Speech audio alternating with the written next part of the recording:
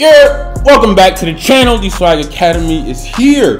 We're in the building. I'm your host, Swaggy C. I'm in the building, and I appreciate you guys for coming back to the channel. If you have not seen me in action before, don't even hit the subscribe button. Watch the video and see if I give you value. If I do, promise me you will not only subscribe, you will like the video. But for my loyal subscribers, I appreciate you for returning to the video. Today, is actually not a video for you. If you've actually been watching my channel for the last year, I've obviously talked about, you know, how to trade Forex. What is Forex and like an entire breakdown of it. But I feel like I've done it in a basic format. I didn't do it with this new setup. I didn't do it as long as I should have. I didn't go over every single topic. So let me actually backtrack a little bit. It might actually be for some of you guys you watch the video yourselves and let me you know know.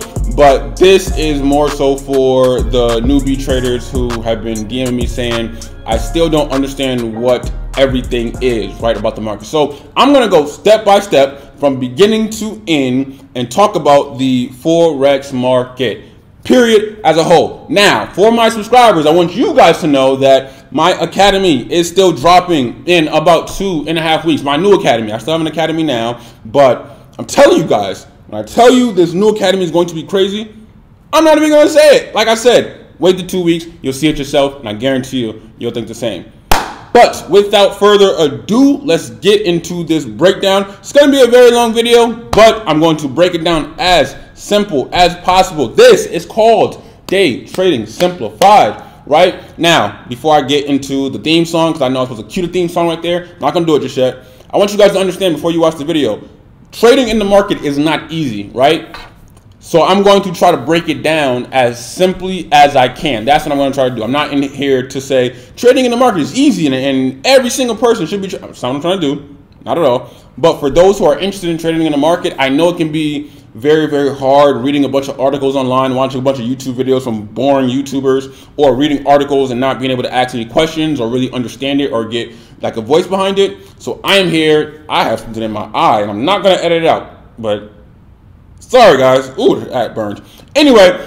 Uh, my goal for you guys here is to watch this video and understand it at a basic level, at an intermediate level, at an advanced level, as much you know as as great as you can, and that is my job for today make it as simple as possible for you guys. So without further ado, I'm gonna go flush my eye out while the theme song is playing. I'll holler at you guys.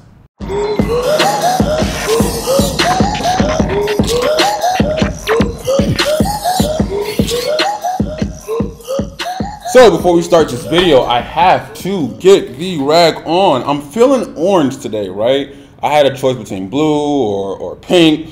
Feeling orange today. I'm about to be rocking. All right, we here, we lit. So, uh, first thing I want to talk about is what is Forex and is it exactly what I see on social media? Yes and no, right? The no comes into play where it's like you see all these people driving nice cars and doing, you know, living the greatest life in the world and on vacation, they're showing a chart. That's not Forex, that is an MLM, right? They are trying to recruit you so you can recruit other people, have a whole downline of, of pitching and pitching and doing up ranks and down ranks and all this chairman platinum. They have a suit on and they have a, a globe, you know, infomercial around them. They got the handout. That's an MLM. That is like the redheaded stepchild of Forex, right? Like, I, I, I want you guys to understand there, there's a difference, right? They're selling Forex, but I want you guys to understand if you're trading Forex, you do not have to join an MLM, right? Like, I want to make that very, very clear because MLMs have caused a major destruction to Forex. Everybody on Twitter thinks Forex is automatically a scam because there's so many MLMs in Forex. Nobody on Twitter thinks the stock market is a scam. Why? Because there's not that many MLMs in the stock market, right? But I want you guys to understand that is the difference, right? MLMs are that. Forex, the yes part,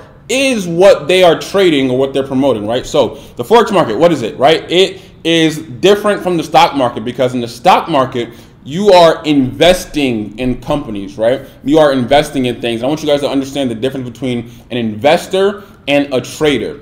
An investor is somebody who invests in a company, they buy and they hold, and they're trying to hold for an extended period of time, right? Whether it's a year, two years, three years. If you thought Apple was going to be popping when they were still low, low, low on the totem pole, and you invested into it, aka you bought shares, giving you part ownership in the company, a year from now, two years from now, three years from now, when you know their shares you know increase in value, you make a lot of money, right? Trading is opposite because you can buy and sell and you're trading more on a day-to-day basis, right? You're you're buying and you're selling more frequently. You're making your money a lot quicker, and you're also losing your money a lot quicker because it's back and forth, back and forth, back and forth, right? So that's the major differences between, or quick difference between the stock market and the forex market, right? Now with forex, you're not buying companies like you are in the stock market. You are trading currencies against each other. Currencies? Yes, currencies. Like the United States dollar. I wish I had my, my wallet to show you guys a dollar, but you're trading the United States dollar versus Great Britain's pound, right? Versus the euro, versus the Japanese yen. All these countries, their currencies. You're trading them against each other. And I'm going to give so many examples, you know, throughout this whole video. What I mean by that is each country is paired with another country, right? They're paired with countries all over the world, right? Because when you want to travel from the United States to Europe, right, you can't use the United States dollar to pay for things over there. You have to exchange, you know, your currency for their currency, right? You go to, you know, uh, Japan, you can't pay for things in United States dollars, you got to exchange it for the yen, right? So each country that's compared against each other has an exchange rate. And basically, you have two countries against each other, right? And I'm going to show it right here on the iPad. You have two countries against each other. Let's say the United States and let's say, you know, uh, Great Britain, right? If you think one country is going to be stronger than the other in comparison, right? You buy that currency against that other currency, right? If you think one's going to be weaker, you sell it, right? That's the the plus of the forex market. You you have the ability to sell in this market, right? You can't like some a lot of times in the stock market there's a lot of restrictions. You can't just come in and just sell something. You need to have like have a physical. When I mean physical, I don't mean in your hand, but like a physical share of something, right? in the forex market, it's all free floating. Like it's literally you can come in, you don't you think it's going down, you can sell, right? But let me actually go to the iPad really quick and show you guys an example if I can find the pin for the iPad. Where is it at? Oh, right here. Okay, I'm tripping, guys. All right. So, like I said, each country has an exchange rate, right? So like if you're trading Great Britain and you know the euro, like we just talked about, they will be compared against each other. So what you will see is something like this, right? You will see. Let me get my glasses on actually too because I'm blind without it, right? GBP, which stands for obviously Great Britain pound, right? Versus the United States dollar, right? United USD States dollar, right? So you will see that you know, every single country is like the abbreviation and then their currency name, right? So the Japanese yen would be JPY, right? So you'll see these little abbreviations when you're actually trading or actually looking on these sites to understand what, what's going on with them, right? So we're looking at, you know, let's just say GBP USD, right? We're talking about the exchange rate, right? And what the exchange rate basically is, is how much of this does it cost to get this when you're, you know, traveling to the country, right? And this is not how you make money in the market, but I just want to explain to you guys. We have GBP, and this is how it, will like look on the screen, right? GBP USD equals, let's just say 1.30, right? And it'll look like this, right? Where it would be like, you know, five numbers, aside the decimal and all that extra stuff. Um, what this means is one GBP, aka one pound, equals currently a dollar and 30 cents. We will ignore the other three decimals, right? Just means a dollar and 30 cents, right? So basically, if this goes from 1, or this stays at 1, and this goes to 1.31000, 1.32000, then obviously uh, the pound is increasing in strength versus the United States dollar. Why? Because it's still one pound, but now one pound will give you a dollar and 32 cents, right? Period. End of story, right? It used one pound. I wish I had, I don't have a pound, obviously, but like one pound before used to give you a dollar and 30 cents. Now all of a sudden it gives you a dollar 32 cents, a dollar 35 cents, a dollar 36 cents. That means it costs more to get one pound, right? The pound is, is being very strong right now. The United States dollar is being weak in comparison. And vice versa applies, right? So if this goes from 1.30 to 1.29, 1.28, 1.27000, right? Right? Um, I'll just keep it like that as well, right? If, if, if it goes lower and lower, what does that mean? That means the pound is getting weaker versus the United States dollar. Why? Because it costs less to acquire one pound, right? It costs a lot less of if I have a dollar and 27 cents, I would get a full pound in, in the UK, right? Or if I have dollar 30 cents from the past, I, I would get a dollar as well, right? So that's how, you know, the exchange rates are seeing how you make money is again you're trading. Now you're speculating right? Speculating means you're basically predicting what's going to happen. So if you and we're going to get to this later on in the video on how you're able to predict certain things right? But if you believe the pound is going to increase in strength in comparison to the US dollar, right? You believe this 1.30 exchange rate is going to increase, and all of a sudden, for one pound, it's now going to cost, or it's going to uh, be the exchange rate. Actually, just keep at one point. Sorry, guys. 1.30, right? It's now going to be 1.32500, right? Let's just say it's it's that, right? If you think it's going to increase and let's say get there, we'll talk about that later, and you buy it, right? You would make money, right? If you if price is currently right here and you buy it, we'll talk about lot sizes and how to actually, you know, make more money and more money or less money. But let's just keep it very, very simple for now. If you buy it, by the time price gets to 1.32500, you've done made a certain amount of money. How that money is determined, that's called a lot size, and we'll get to that. But that's basically how you make money in this market. You speculate based on a variety of factors, right? Technical analysis, we'll get to all that later. Fundamental analysis and sentiment, right? So technical is basically as you're looking at the chart, and fundamentals is like the news of the world, right? CNBC, Bloomberg, all that extra stuff, right? And um, obviously these central banks and, and the government. And sentiment is basically the opinion of everybody, right? What, what, are, what are the forums online saying? What are the, the broadcasters and what's being reported online? Like that's that's all that's what makes up the market. So if you buy it based on everything you're hearing, remember, you're not just guessing because guessing is gambling, right? And people have this confusion. They think that let me actually show my face for a second. People actually think that you know trading in the market is a gamble. And to a certain extent, I can understand what they're saying, but to me, in my opinion, this whole video is all my opinion, except for the obviously the obvious facts on how to actually trade. Gambling is going to Vegas, and you don't know what's going on. You're literally pulling the shot slot machine. You're hoping for the best. You're shooting dice. You, you really don't know what's going on. You're playing a card game. Like you don't know what's going on. You're, you're merely hoping and guessing.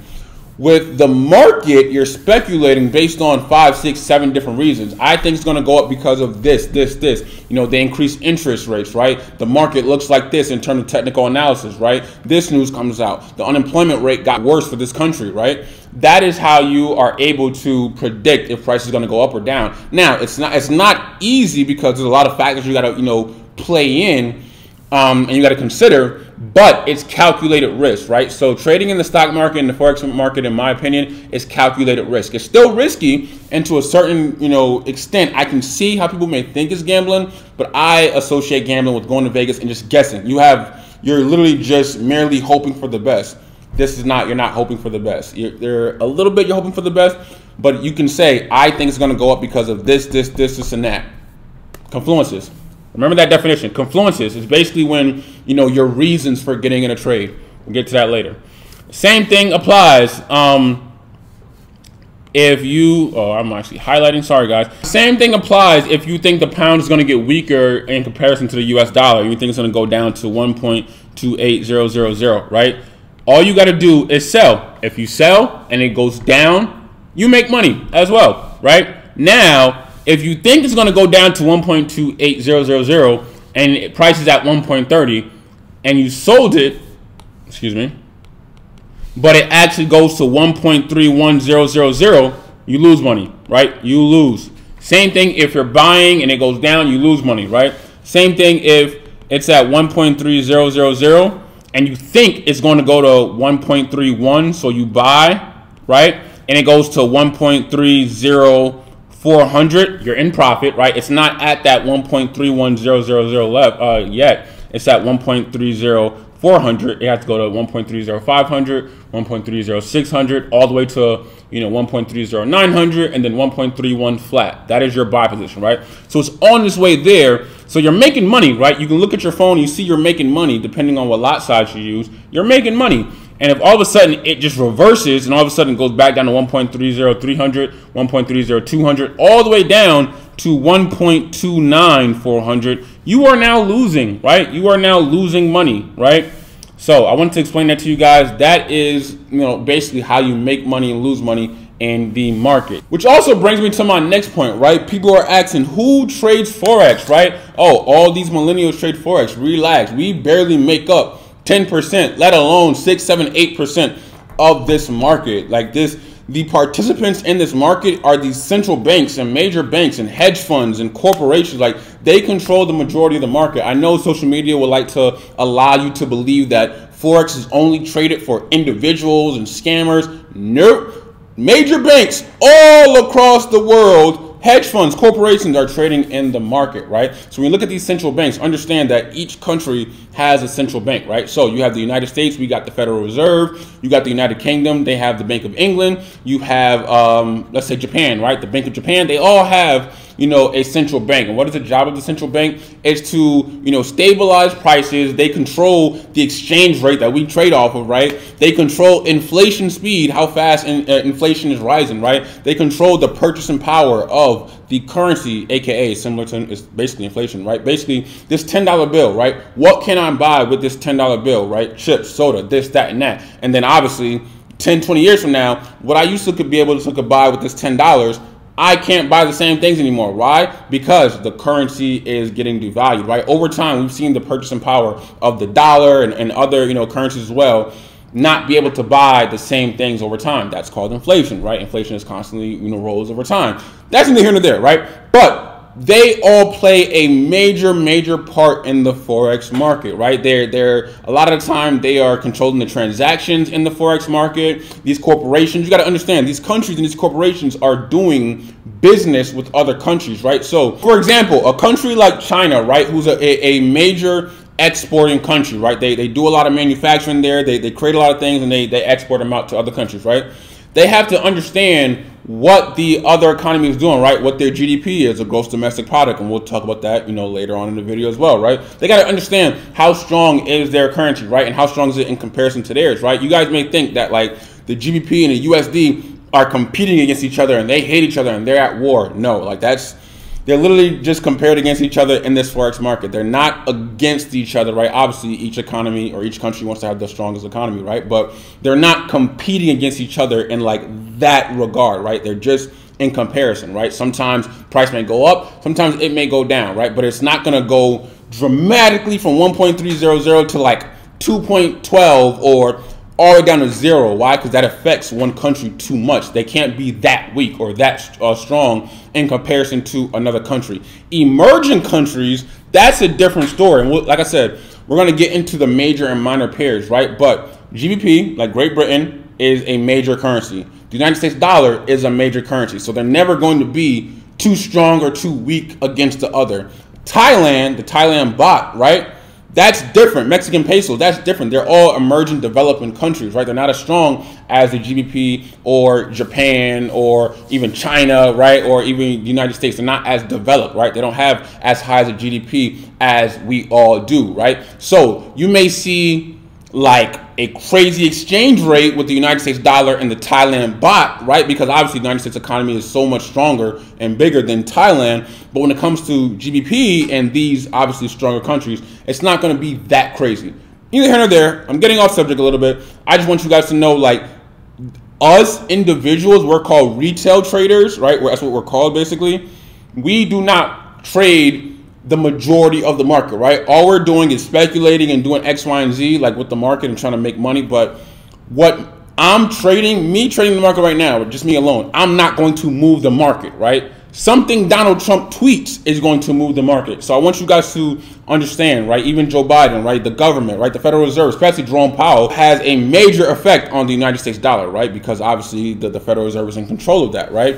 I want you guys to understand when you're in this market, you're not in this market to be you know, move the market and do this and do that. No, your only job is to make money reacting to what's going on, predicting, right? But your goal is to try to figure out what's going on with the, with these central banks and what the government is trying to do and what the, the future outlook of the economy is going to be. And your goal is to react based on what they're doing because they can move the market. We can't. React on what they're doing and try to make money, right? Moving on, people may ask, you know, what are the major differences between the stock market and the forex market, and why is you know forex so alluring to, to trade, right? Why are you know people like me and other people around the world trading forex instead of the stock market, right? I am you know interested in the stock market as well, and, and I'm an investor as well, but coming into this market, it has such a easier, you know, way to get into the market, right? Has such an easier access in the stock market, right? So with the stock market, you have to have, if you're trading, right? You have to have a minimum of $25,000 to trade with, right? And if you don't, you're only able to trade three times a week. And I'm gonna go back to the iPad and I'm actually gonna delete everything really quick as I'm talking to you guys. I still, I'm gonna show you guys. I still have the stuff we did, you know, earlier on in the video. But I want to actually write some notes down just so you guys can obviously pay attention and you know understand it, right? So with the stock market, right? So let's just say stocks. You gotta have twenty-five thousand dollars, and it's called the PDT rule, right? And what that means is you gotta have twenty-five racks, and if you don't, you're only allowed to make three trades per week right? Which sucks unless you're a swing trader. And if you're a swing trader, you should have 25,000 in the stock market, right? Because swing trading is basically when you're trading for a longer period of time. I got to talk about that later. Differences between scalping, intraday, swing, and position trading. But right this second, right? The PDT rule for the stock market, you got to have 25,000. So it's a lot easier to enter in the forex market. Why? Because in the forex market, you are able to enter with as little as a hundred dollars. Now that's not recommended, right? We would love for you to enter and have more breathing room with your trades in case you lose some, you know, some money. You want to have, you know, extra in the account, right? But you're able to trade with a hundred dollars, fifty dollars, right? So you're so you you can get in a lot faster, right? So that's one of the main differences between forex and stocks. So people may ask, why is it so alluring to trade in the forex market? Is because of this alone, right? You don't have to put up too much money to try to learn how to trade, right? And one thing you should understand though is technical analysis is the same worldwide, even fundamentals. Now, the type of fundamentals you're paying attention to are different because with the stock market, you're looking, you know, for for Tesla, you're looking at Elon Musk tweets, right, for exactly Tesla, right, or reports and earnings growth, right, and all this extra stuff when it comes to Tesla, right, Q1, Q2, Q3, Q4, their whole earnings report. With the forex market, the fundamentals may be like, what is the Federal Reserve saying? What is the Bank of Japan saying? What is monetary policy? And what is, you know, uh, what's going on with the country and their interest rates? Are they hiking it? Are they bringing it down? Like, that's what you're kind of paying attention to. But overall, fundamentals is the news. Technicals is kind of the same, right? I can look at a, a, a, a forex chart right now, and you can completely erase it and put like a Netflix chart right now, and I can read it. Clear as day. Can clearly read the graph and know what's going on. So I want you guys to understand that just because you are learning Forex right now, learning the technical analysis part of Forex, if you decide Forex is not for you, you may ask, can I go to the stock market and at least know what technical analysis is? Yes. Like you will be able to open a stock chart up right now and be able to, I wouldn't say just trade anything because like obviously different factors weigh in. You got to figure out like the timing and all that extra stuff. But yes, you'll be able to read Netflix and be like, oh, this is why it went down. This is why it went up. You'll be able to read it clear as day, right? That's one reason. The second reason is the forex market is open 24 hours a day, right? Five days a week, 24 hours a day, and the uh, the ability to create your own schedule makes it very, very you know lovely to to partake in, right? So create own schedule 24/5 in the forex market, which is also called FX. I don't know why I didn't even say that earlier in the video. And with the stock market, it's open five days a week, but it's only open about six and a half to about eight and a half hours a day, right? They have, you know, after hours, you know, when it comes to trading, even though the volume kind of decreases. six and a half hours, five days a week. And the reason I said six and a half because they have like a bell, like the bell rings when like the trading day starts. That's at 9:30 Eastern time, and the bell rings to like kind of close it out at four, right? So it's really six and a half, even though you include the after hours. Neither here nor there. Let me get my glasses back on. But again, the reason why a lot of people choose to trade forex over stocks is because they can choose their schedule, right? You can work overnight at a job and then sleep and then wake up and you're still able to trade in the forex market. Whereas the stock market, you got to trade sometime between 9:30 and 4. Realistically, 9:30 and like maybe 12 or 1, and then the market starts to die down a little bit. But you know, you have to be there, right? Like there's there's no trading at 9 p.m., 10 p.m.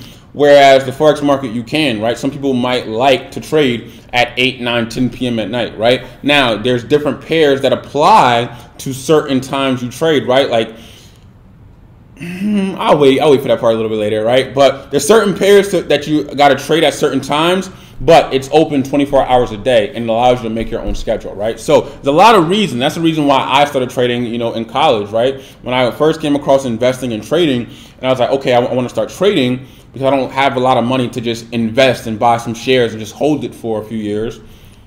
Forex was the easier route because it allowed me an easier access to entry, right? Whereas uh, stock market, that 25 racks was very heavy on a homie. You feel me? Now, one of the biggest things that a lot of new people try to ask me is that do I have to sit at a chart 24 hours a day or even eight hours a day, or I may not have the time? And, you know, realistically, no, you do not. Now, studying, right? This is clearly a long video, right? It's clearly over an hour long, right? It's very, very long studying is going to take you a lot longer than trading, right? Like when I studied, I studied day and night for months, right? Even a, year, right? And now when I look at the market, I'm not saying you can get on the market and just trade in five minutes. No. What I'm saying is after you know what you're doing, you're able to look at the market and try to analyze it within 15, 20 minutes, and you can kind of you can have a bias and a prediction on where the market is going to go. You're not right all the time, but it becomes easier to read and understand. This is what's going on. Let me read some fundamentals, some news. Okay, this is what's coming out. Okay, you match this. Okay, the technicals say this. Boom. All right, it's going to drop. That's my prediction, right? So you're able to have a bias a lot easier when you know what you're doing, right? On top of that, you don't have to sit at the chart 24-5, right? Because depending on the pair you're trading, even if you like, let's say you like to trade early in the morning, right? And and the pair you like to trade only moves early in the morning, and we'll get to pairs probably in the next section or the next time I'm talking, right?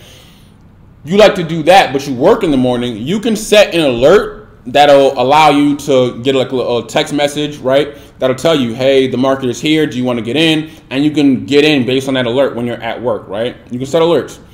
What you can also do, right? So basically, when you get into the market, there's there's a few things, right? There's a thing called market execution.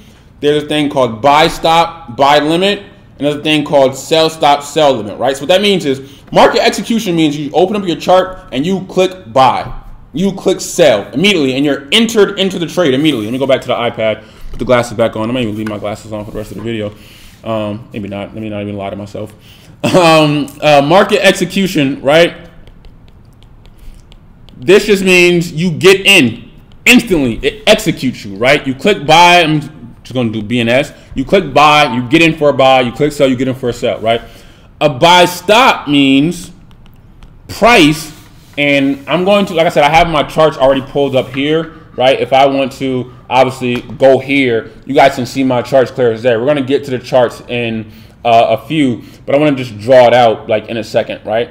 What a buy stop is, basically when you think the market is going to go up higher than it is, but it's down here, right? You just get a buy stop. So let me do a bar replay. And what bar replay is, and I gotta explain this. This is why I want to do it on the iPad, right?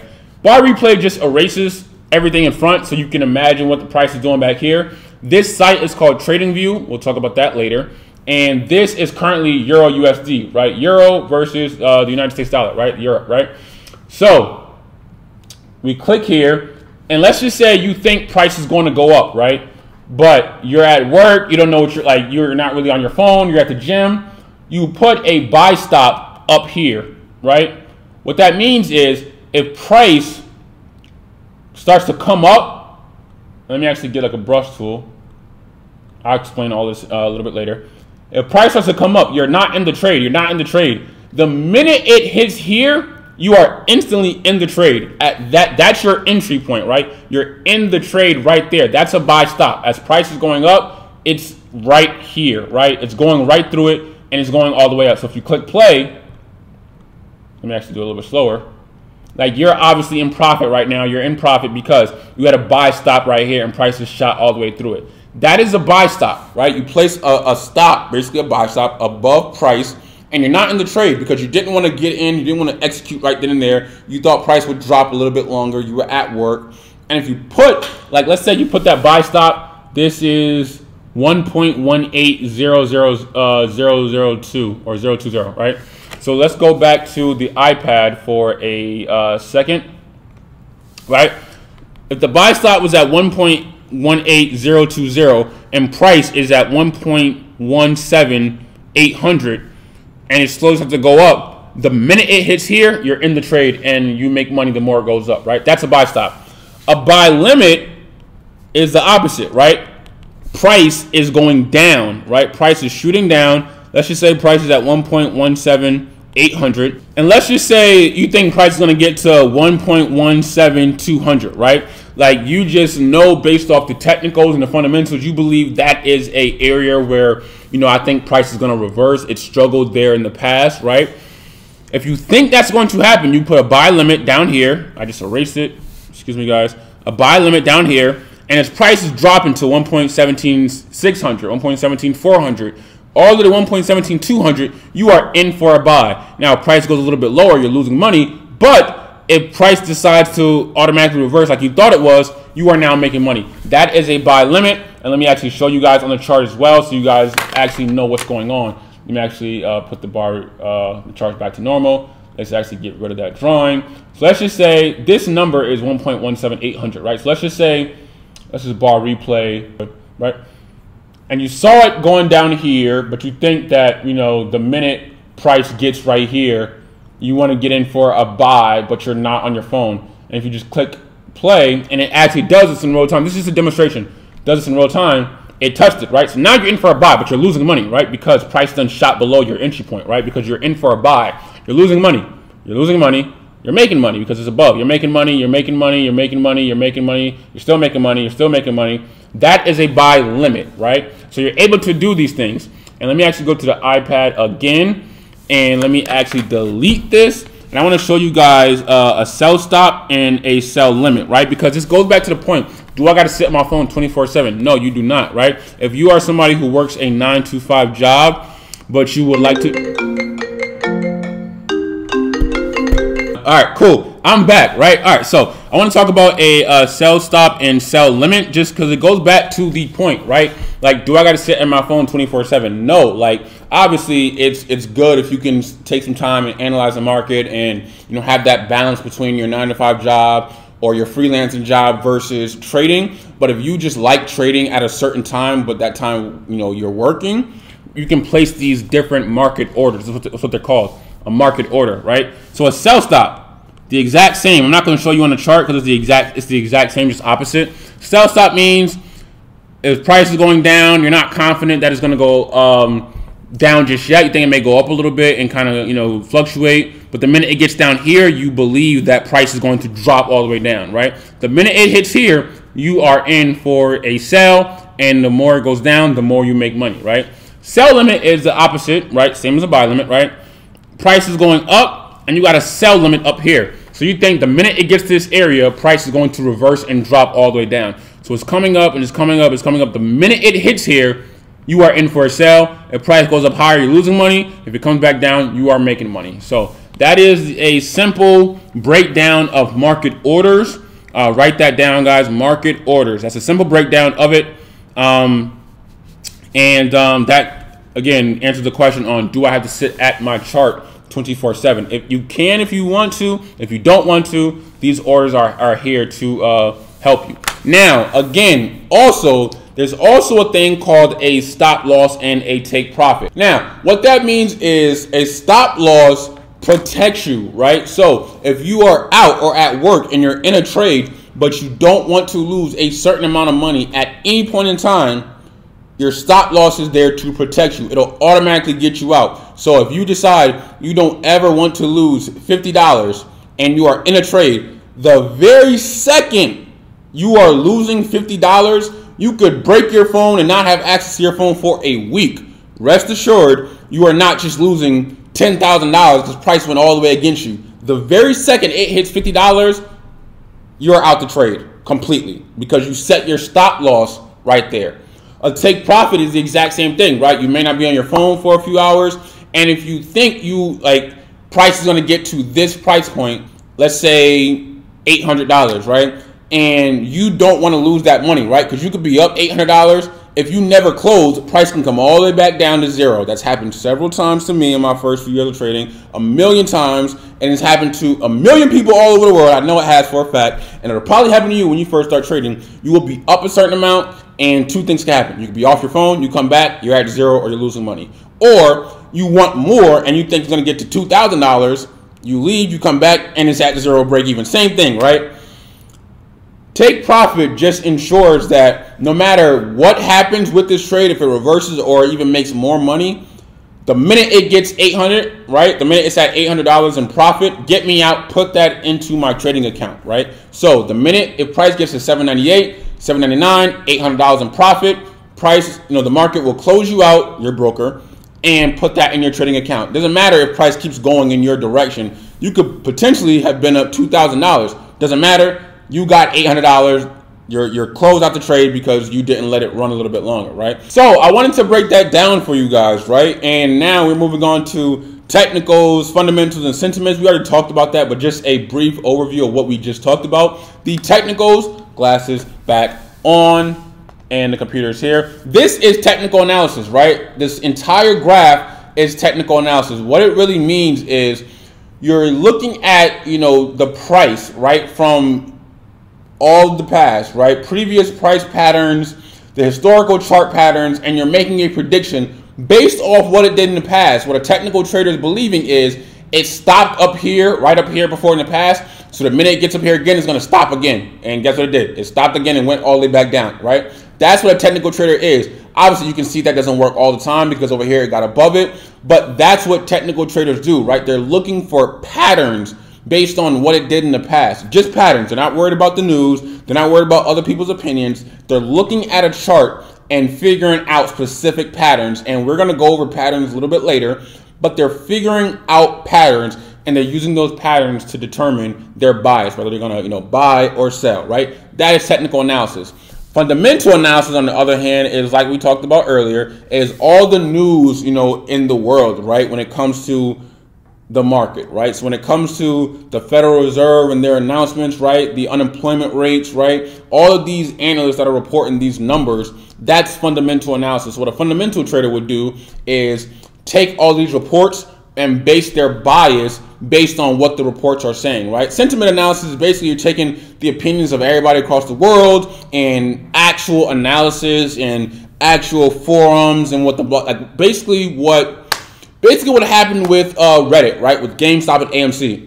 if you were in, you know, uh, Wall Street bets, that's basically sentiment analysis, right? The entire Wall Street bets was like, we're gonna force the appreciation and buy a bunch of shares and, and force a stock up of GameStop, right? And AMC and BlackBerry and all that stuff, right? That is basically sentiment analysis, right? That type of stuff prob- most likely can't happen in the uh, forex market, right? Because with the stock market, a lot of influence can happen, right? You know, uh, Netflix can come out with, a, with an announcement and you know, cause the, the, the, price of the shares to go down, cause it to go up. Same with Tesla and people like Wall Street Bets. You see that whole, you know, everybody getting sued and Robinhood and the owner and all this extra uh, stuff with Citadel.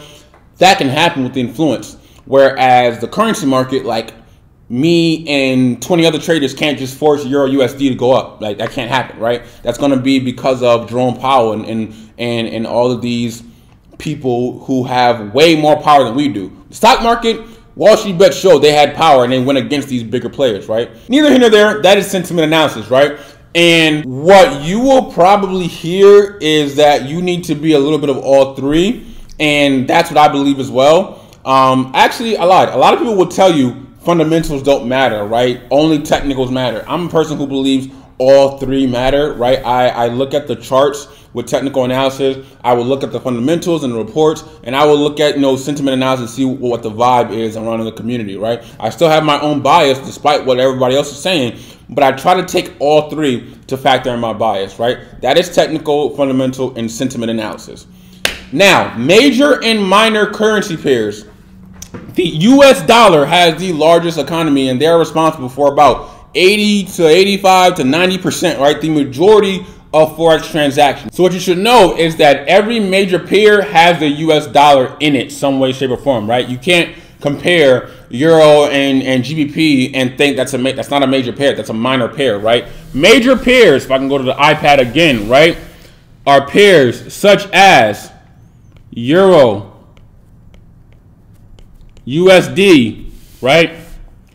GBP, USD, right? USD, JPY, Japan, right? AUD, USD, right? Australia. NZD, New Zealand, the New Zealand dollar, right? And the uh, United States dollar, right? USD, CAD, right? The United States dollar and Canada, right?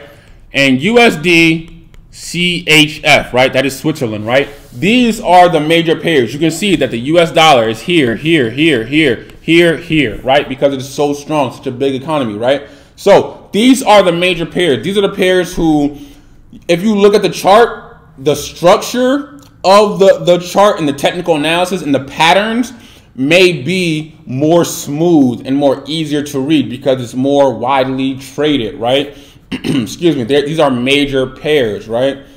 Minors are pairs that don't involve the US dollar, right? So if I can just erase this and just put GBP here, that is a minor pair. That doesn't mean it doesn't move. Like sometimes minors move more than the majors, right? Because it has a lot of volatility, right? A lot of volatility, right? The more the more people who, who are trading in the market with a specific pair, the smoother it is. There's a lot of people trading. The less people trading a specific pair, the less it is it is regarded in terms of like all these forex transactions and how much it moves in the volume.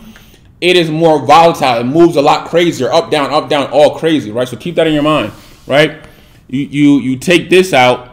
Actually, I should have kept that again, right? GBP and you like replace that with AUD, right? GBP, AUD, uh, Great Britain pound, and the Australian dollar. That is a minor pair as well, right? I can remove this and just put euro, right? Euro, JPY. That is a minor pair, right? These pairs don't involve the US dollar. Keep that in your mind.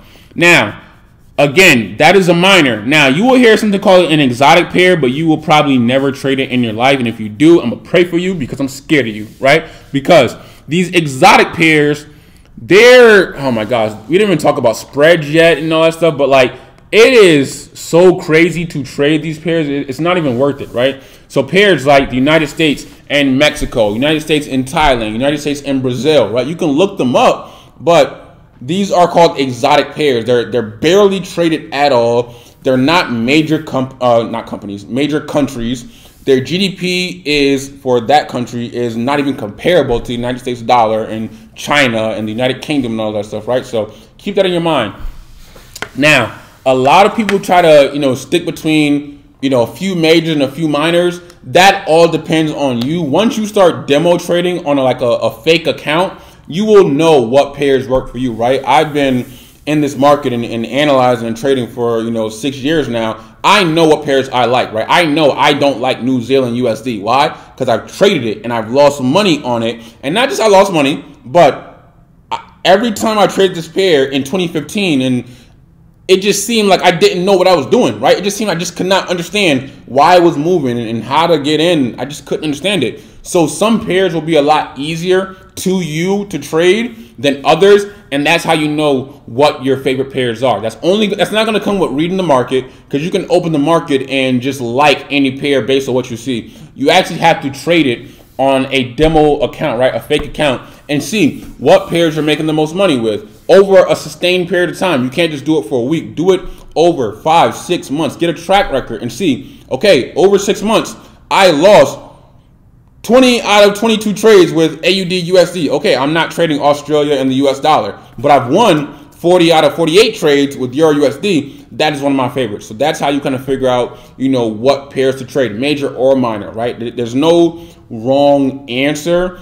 Um, I would say, just to kind of give you guys uh, a heads up, I would not trade out the gate GBP JPY. This is the most volatile pair when it comes uh, in this forex market, right? We take all the indices and you know the cryptocurrencies and you know the metals like gold and stuff out of it in terms of currency pairs GBP JPY is the most volatile so I would stay away from this one but like test a few majors out test a few minors like GBP AUD and Euro JPY and test them out see if you like it or not and then make a decision.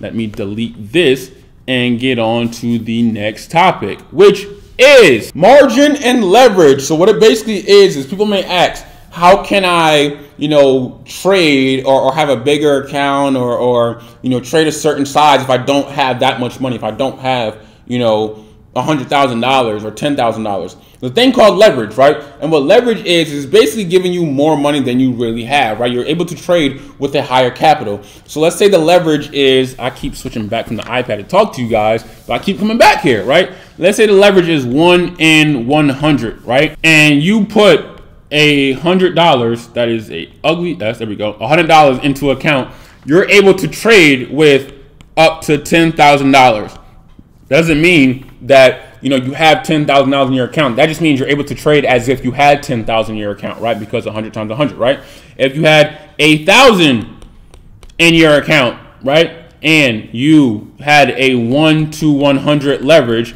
you are able to trade as if you had a hundred thousand in your account same if you did one in 200, it would be 200,000, so on and so forth. That is leverage, right? Now, be careful with leverage because, you know, obviously you can make more money, you know, a lot quicker, but you can lose money a lot quicker as well because you have, you know, the leverage is given your account, even though it's small, it has a thousand dollars in it, which is not small to other people, but neither here nor there, right? You're, you're, you're trading as if you have a lot more than you have. So you got to be very, very careful with it, right? I would, you know, in my opinion, I think it's always smart to use a stop loss no matter what because if price goes against you sharply, it's not just going to get you out the trade because your, your, your leverage is so high. If your leverage is so low, then, you know, your margin may get you out the trade, right? So what margin is, is basically your broker putting aside funds essentially and making sure you don't, you know, force your account to go in the negative, right? No matter what, you always got to have this much money in the account. Your margin could be 2%, 3%, 4% of the trade. But margin is basically uh, ensuring that you basically never take this account into the negatives and owe them money. So let's just say your brokerage on that $1,000 account, right? Let's just say your broker, you know, wanted had a had a margin of 2%, right? And that's basically twenty dollars. That doesn't mean if you lose twenty dollars, your broker's gonna close you out the trade. That just means if you're losing so much money that your account goes all the way to twenty dollars, your broker's gonna close you out the trade. In the store, you're gonna get something called a margin call. That's basically when the broker is just like, get out the trade. You're clearly losing so much money. Yeah, you're not gonna close it. We're gonna close it ourselves, right? So that is margin. That is leverage. That is basically how you're able to trade with more capital than you actually have, like leverage. But be careful with leverage you know, because obviously, as I said earlier, you know, the higher your leverage is, yes, you can make more money a lot quicker, but you also can lose a lot, you know, money a lot quicker because your broker is not going to stop you and be like, you don't have enough money to open this type of position, right? So again, for example, we're going to get to lot size in a second, but if you had a one in 100 leverage on a $100 account, and you want to to open up a position worth $7,000, you can. Your broker's not going to stop you because your leverage is that high. If your leverage is lower, like a one to one or one to whatever, you can't open a trade that big. So we're going to talk about sessions now, right? And in about maybe 15 minutes, we should be uh, talking about technical analysis and actually breaking down how to actually trade. Um, but sessions, right? There are three sessions, right? There's something called a New York session there's a London session and there is an Asian session, Tokyo session, right? So basically, what that means is obviously New York session is nine to five for, for us, right? Basically, or basically eight to five, right? That's basically the time where we're up, right? When Wall Street is moving, right? When most of us are going to work, right? That is called New York session, 8 a.m. Eastern here. It ends at 5. That is when a lot of the United States dollar, right, pairs, you know, like the, the USD, a little bit of euro, but the USD is moving, right? It's, it's moving. A lot of the transactions are occurring. A lot of the news regarding the US dollar tend to, you know, come out during the New York session. That's the New York session. The Asian session is obviously when the market uh, resets at like 5 o'clock, but it really starts at like 7. From like 7 p.m. Eastern time to about 3 o'clock in the morning, right? That is Asian session. That is when, you know, Australia, New Zealand, right? Gold, right? Which is a metal, right? You know, Japan, these pairs are the most volatile during these type of sessions, right? Because that is when their economy is moving, right?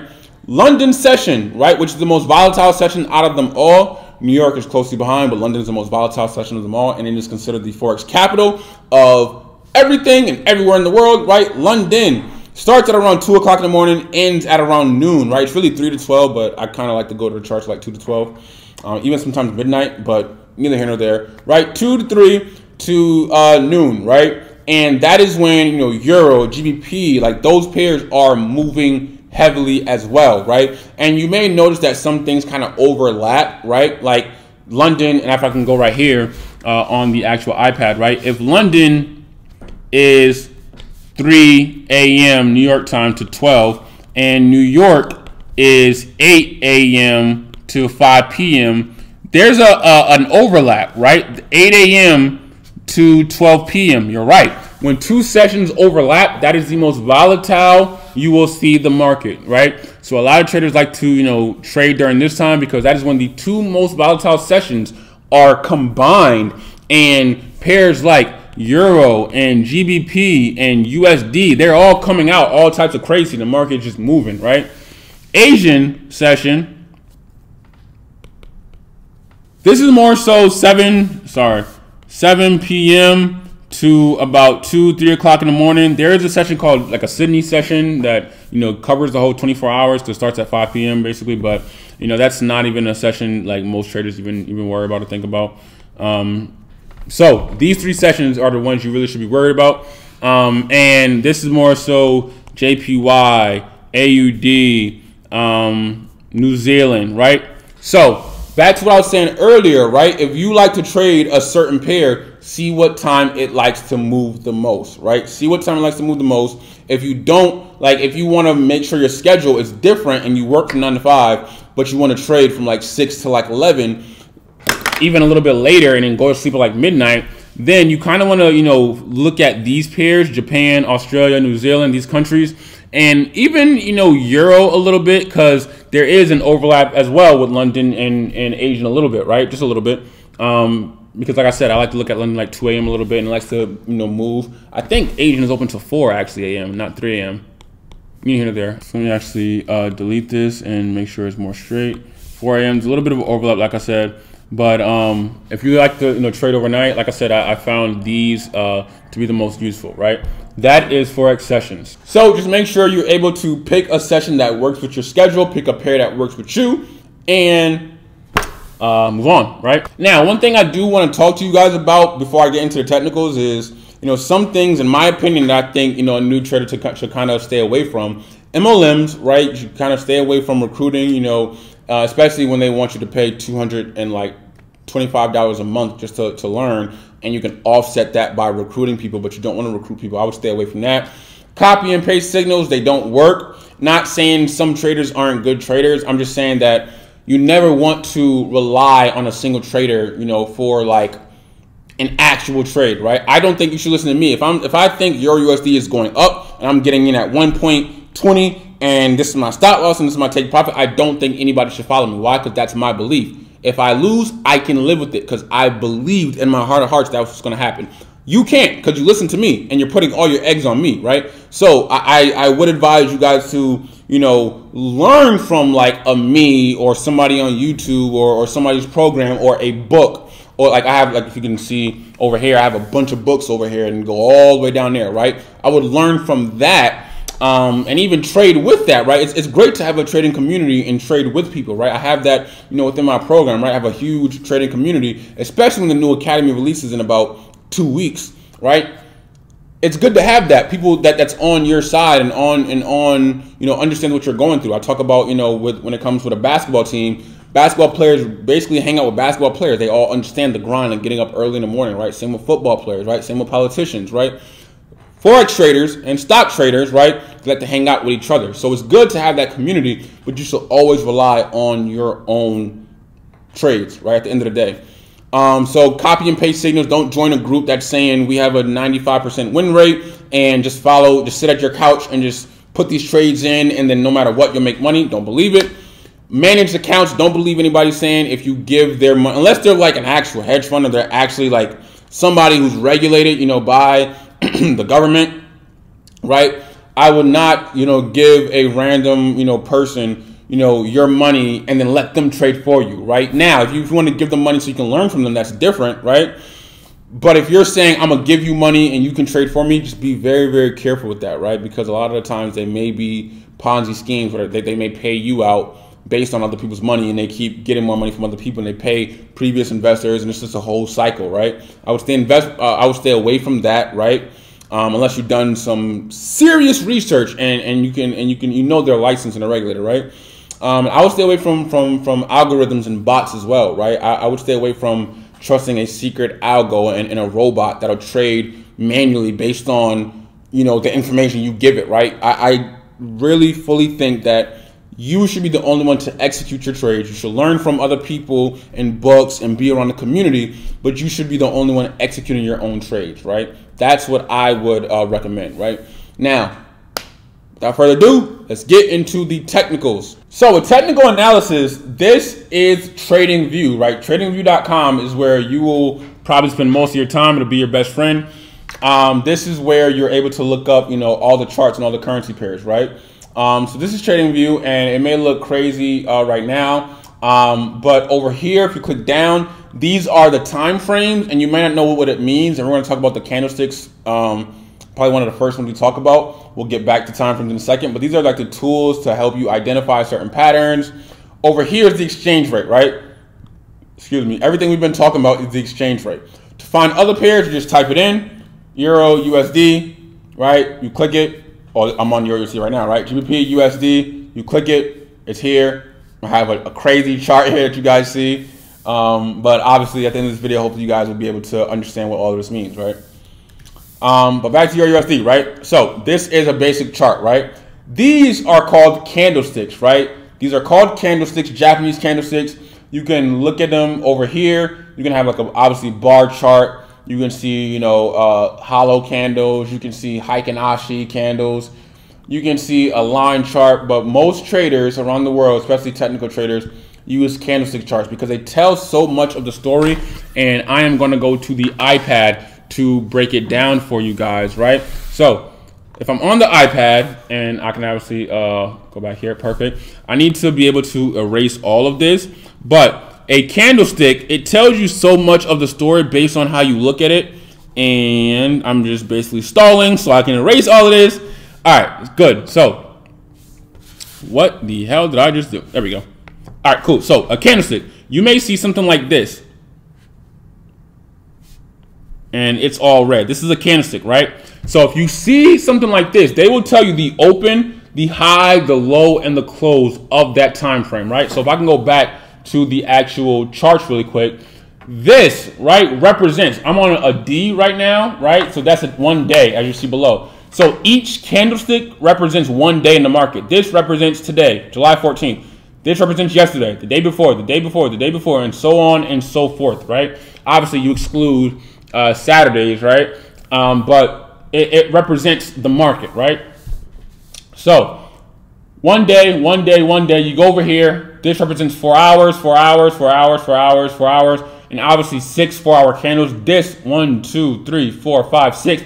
This represents one day. That one day you saw over here, right? And same with the one hour. Obviously, 24 candles represent one day. Four one-hour candles represent one four-hour candle.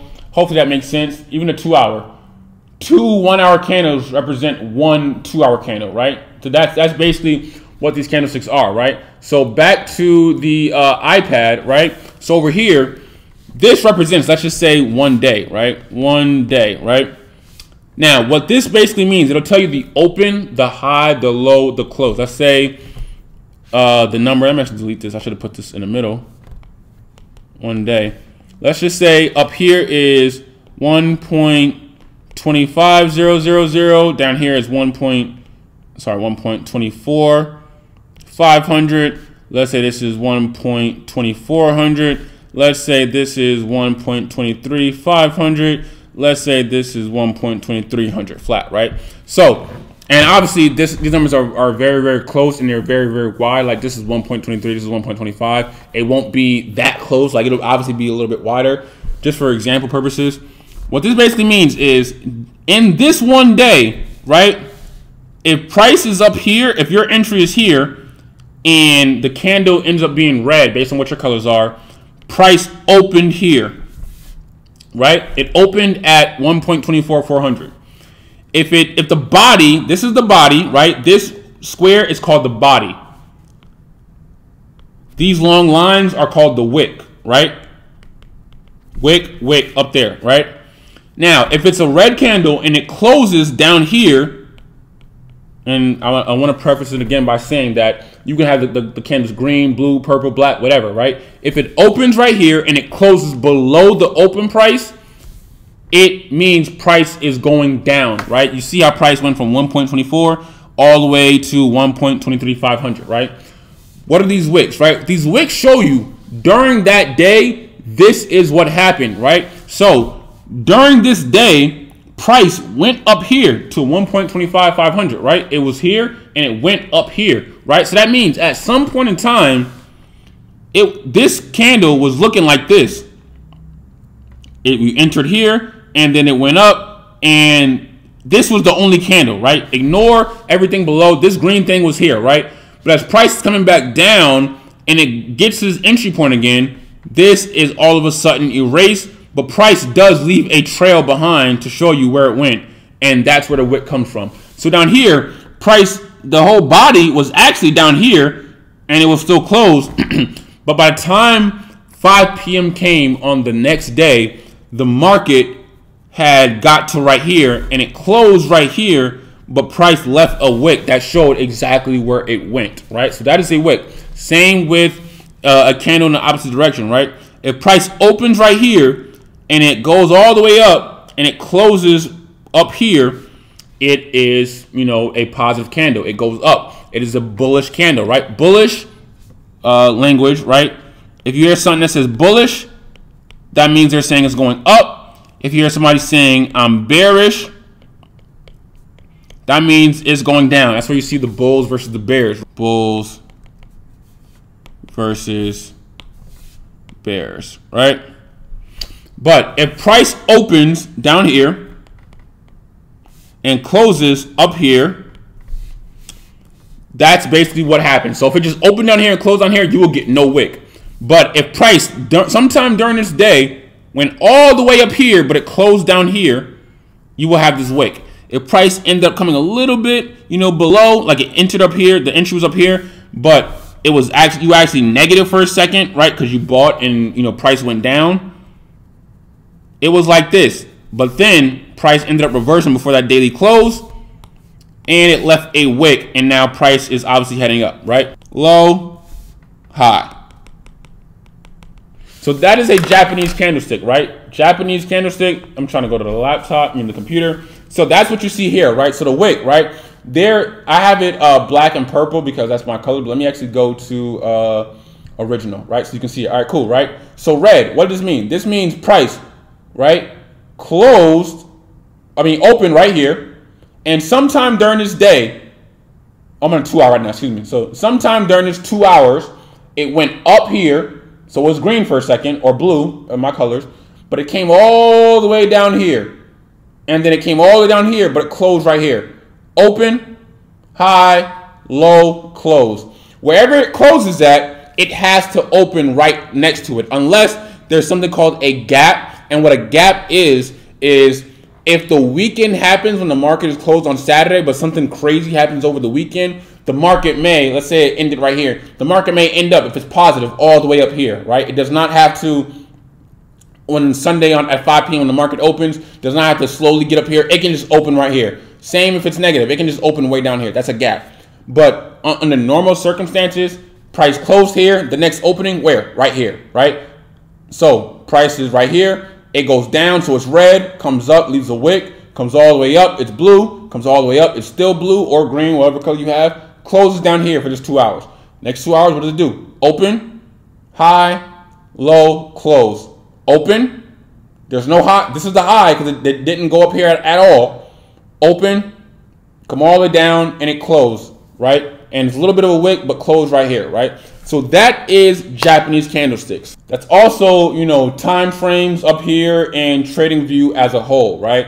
Now, what you should understand is the market can only move three ways, right? The market can only move, let's go back to uh, the iPad. The market can only move up, down, or sideways, right? So up meaning bearish or long. If you hear somebody saying I'm going long, that means they're buying and they think it's gonna go up, right?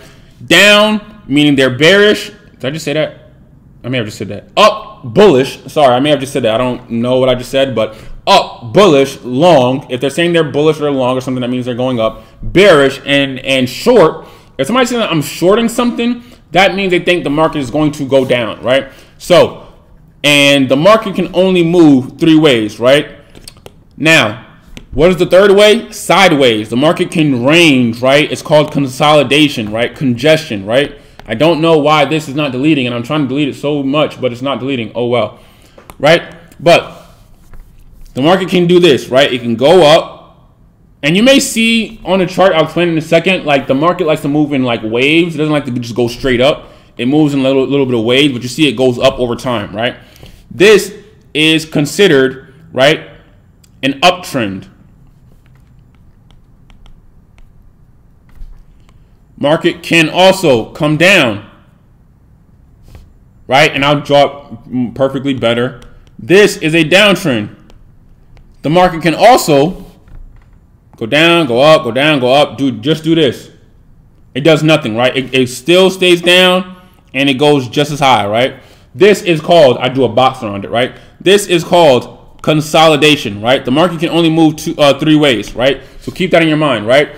What an uptrend is, is higher highs and higher lows, right? What that means is the market will go up, and it's still blue right now. I'm trying to get it green. There we go. The market will go up, create a high, come down a little bit, right? Come down, come up. This high is higher than this high. That's a higher high.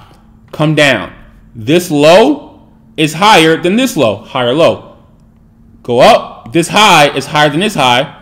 Go down. This low is higher than these lows. That's an uptrend. And you're able to draw an actual, let me actually get a color you're able to draw a line that connects them, right? You're essentially able to do this that basically connects them. This is the trend, right? Where it just bounces off the trend. Bounce, bounce, bounce. And you're assuming and predicting that, you know, the next time it goes up and creates another high, when it comes down, what do you think it's going to do? It's going to go right to the trend line. This is what I meant by calculated risk, right? There's so many different ways and reasons to predict where the market is going to be in the future. You can be wrong. Price can break the trend line, but you're basically going off of what price did in the past. It usually you know, abides the trend line. So we are going based off the trend line, right? We're basically going off the trend line, and we think price is going to bounce off of it. We get in for a buy, and then price shoots up. We're making money, right? That's an uptrend. Downtrend is the exact opposite, right? A downtrend is lower highs and lower lows, right? So when the market decides to, it'll go down, create a low, come up a little bit, come down. This low is higher than that low, go up, this uh, high is lower than that high, right? Go down. This low is lower than the previous three lows. Go up again. This high is lower than this high, right? If it came up, then it's not a lower high because it got higher than this one, right? But if it stays a little bit lower, it is a lower high, and it, it is a downtrend, right? I should have connected it a little bit better, but basically, obviously, in a downtrend, this should be uh, connected basically and should go there and it should go there and touch as well, right? This is a downtrend, right? So it comes up, comes down, and where do things gonna go, right? You think it is going to bounce off of this trend line. That is a downtrend, right? Consolidation, this is why I'm not even gonna do it anymore, but this is why I drew the boxes, right? It's when price is going up, down, up, down, up, down, and there's a, you draw a box around it because there's no trend. It's just going up and down, up and down, right? That is a trend line, right? So if I can go back to the charts, right? when you're looking at this, we can look at this and say what's going on, right? So we can look at it and we can draw maybe a trend line right here, right? From down all the way up here, right?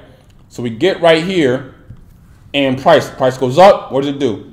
Down, up, down, up, down, up, creates a lower high. This high is now lower than this high when all the times, right, we can draw an ellipse tool as well, right? let's just stay on drawing mode excuse me, this is the low, high, the first high. What I mean by high is what is the highest point it went to before price retraced? And if you don't know what a retracement is, a retracement is not a reversal, right? iPad. A retracement is when price goes up so much and comes down a little bit. This little bit is called a retracement. If price goes up and comes all the way down, that is a reversal. Price reversal all the way down. But a retracement is just when price goes all the way up and comes down a little bit, or all the way down and comes up a little bit, right? That's a retracement, right? So the high and the low is basically where is the point where price actually retraced to? Oh, it got here, retraced all the way down, right? This is a low. Why? Because it retraced here and went all the way back up. This is a high. It was higher than this high, came down, low, higher than that low, came up, high, another high, right? These are higher highs, these are our higher lows, right? Another low. And then this, lower high. this is considered a break of structure. Basically, it's not abiding what's going on. This is a first sign of a reversal, right? Confluences. We want to talk about how do we know price patterns. We'll talk about the price patterns in a second, but how do we know, right? How do we know what's going on? This is one example, right? This high was lower than this high. This gives us a signal that price is about to reverse, right? That's number one. Number two, there is a thing called single, double, and triple, aka dual and triple candlestick patterns, right? So what I mean by that is pat, uh, these candlesticks have patterns, right? You, you see how the chart looks, and I'm erasing my iPad while I talk to you guys at the same time, but you see how the chart looks up here, right?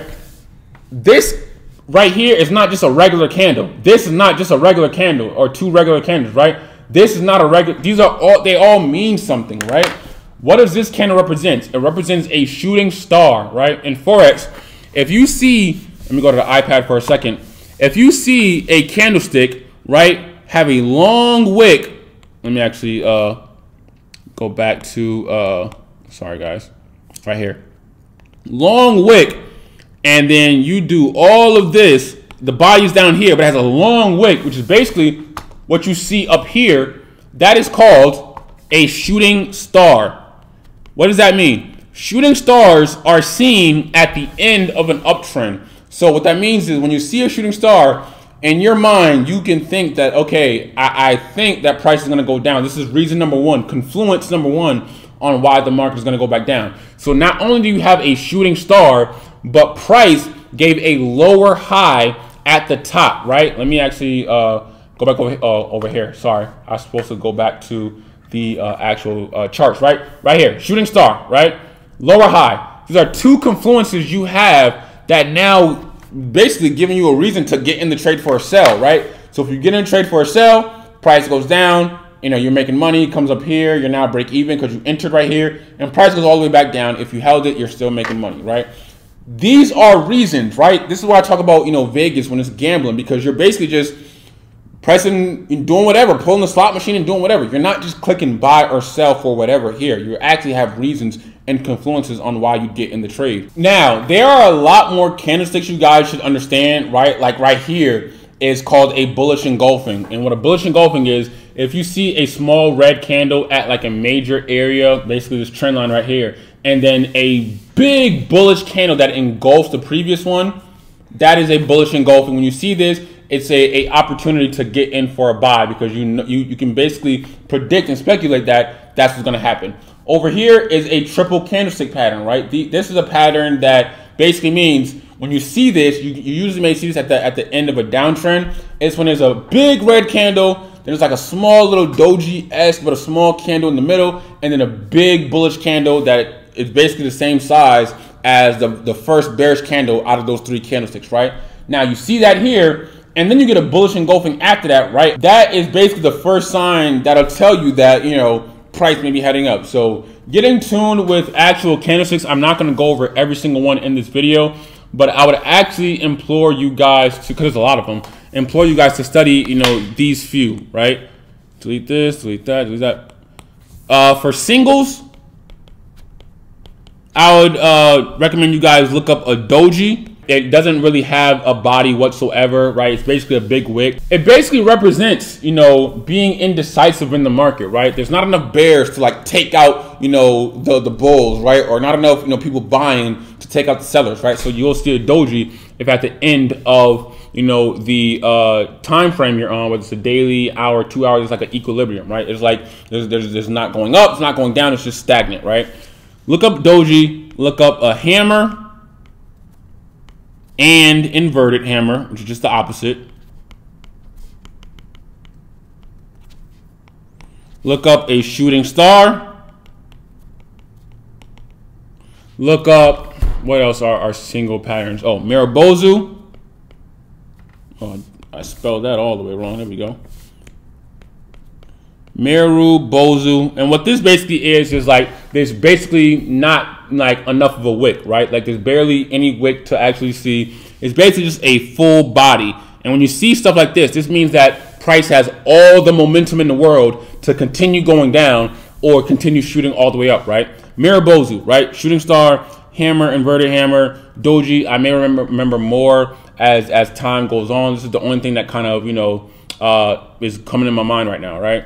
Um, as far as a double, right? As far as a double, I want you to look up a double top, right? So a double top, double bottom. I want you to look up bullish, engulfing, bearish, engulfing, right? I want you to look up tweezer, uh, it's an E, tweezer top, and a tweezer bottom. Um, and again, if I think of more, I will uh, obviously talk about it some more. But these are just things off the top of my head, right? And for triple, the last one for these candlesticks, right? What I want you to, to look up as well is uh, triple. And what you may see is a head and shoulders or inverted, right? That's the opposite. And a uh, morning star, which is what we just talked about over there, the morning star, which is the three candlestick pattern, which is the, the red all the way down, a little doji in the middle, and, and a bullish one all the way up, and an evening star, right? And again, if I think of more, I will tell you as well. But these are the ones that's coming to my head because, from my opinion, these are the most significant. And when you see these, make sure you're looking at what the overall picture is because they're trying to tell you something, right? If I scale back, this is a double bottom, right? Basically a W. Price comes down, comes up, comes down, and the bottom is basically the same as the original one. What does this tell you? A double bottom is basically saying that price is about to head up. So when you see this, sorry, I'm still in drawing mode. So when you see this bottom, bottom, and you see this bullish engulfing right here, small red candle bullish engulfing, that kind of gives you an incentive to try to get in and in for a trade, right? And price comes down, you're losing, and then it shoots all the way back up, right? So that these are, are things you should uh, uh, know and understand and realize when it comes to this market as a whole, right? This is basically considered a doji, right? A lot of wick, small body, doji, uh, you know, a lot of wick, barely anybody. They're just some things you should kind of understand, right? Sorry guys, I actually gotta take this rag off because it is giving me a headache. I gotta let the, the waves out for a second, man. I gotta let them out for a second. But I am getting a headache. Got the glasses on and do-rag on. That is not good for my brain. Um, so we're gonna finish the video just like this. But back to the charts, right? So that is a um, those are the candlestick patterns that I want you guys to kind of really you know focus in on. Now let's talk about support and resistance. This is actually one of the the the most important ones uh, on top of you know candlestick patterns and trend lines. Support and resistance, right? Um, I don't know why I circled that. Did I by accident? Because I'm still in draw mode. I'm trying to get back to my iPad with my left hand. Support and resistance. What is support and resistance? These are basically key areas, right? Key areas where the market usually tends to reverse at, right? So resistance, right? Resistance is the ceiling, right? Comes up Price can't break it, right? It's resistance, right? Resisting, right? Resisting, right? This is resistance. Support is the floor, right? You, you dribble a basketball on the floor, it comes back up, right? Support, support, support, support, support. Support can turn resistance, right? And resistance can turn support. What that means is this is all support. If price breaks support, this is now resistance. Why? Because it's above it. So now it comes up, it's resistance, resistance, resistance, resistance. And this is now the new support. Same with resistance, right? It can go up, and now what is this? It's below it. So now this is support, support, support, support, support, right? That's support, right? So just understand that, right? Now, how to find support and resistance on a chart. People do it in, you know, many different ways, and I'll give you guys a few examples, right? Let me actually just uh, delete, you know, some of this over here, right? Uh, remove drawings. So what you should know is that what some people do is number one, they like to draw it at like wherever price stopped at, right? So they take this horizontal line and they draw a line right here, right? That basically has, right, right, price stopped up here, up here, got close over here, and people like to draw like a little bit of a box around it, right? I don't like to draw mine very, very random. I have specific areas where I like to draw it. I'll talk about it in a second, but you know, everything below this line is considered resistance, right? This is resistance because it's resisting, resisting, resisting. Over here, this is support because it broke above and broke back through. But up here, you know, resistance, or resistance, resistance, right? Coming down, you see price, you know, may have stopped, you know, right around here, right? So we can say, draw a box, right? We can say support, it came back up, support, came back up, broke through. This is not resistance, right? Even over here, came up, support, broke through, came up, broke through, came up, resistance, came down.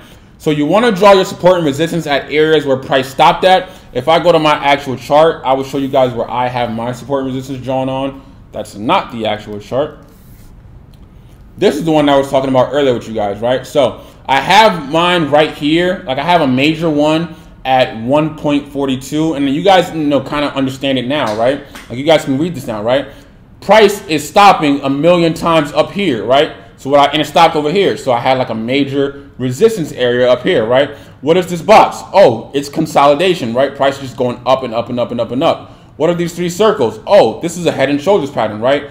And I didn't explain the head and shoulders pattern, but the head and shoulders pattern is basically, as I told you guys to look it up, but it's basically when you get a shoulder on the left hand side, a head in the middle, which is you know higher than the left shoulder, and the right shoulder, right? You get a shoulder, head, shoulder. When you see a head and shoulders, that basically, you know, insinuates price is about to drop, right? So not only do we have this trend line up here, we see prices stopping way up here at this resistance area. So it can't get above here. That's basically my prediction. It can't get above here. I have a head and shoulders, price is consolidating, and it's starting to trade down lower and lower. And even up here, if I can go to like a two hour time frame, which shows, you know, more of the chart, you know, you come down here, price starting to trade lower and lower, breaks the trend line lower and lower. Now this is now a small resistance area where price is not getting above. I'm in for a sell and I sell and price drops all the way down. Why? Because I had about four or five different confluences on what the market is going to do, right?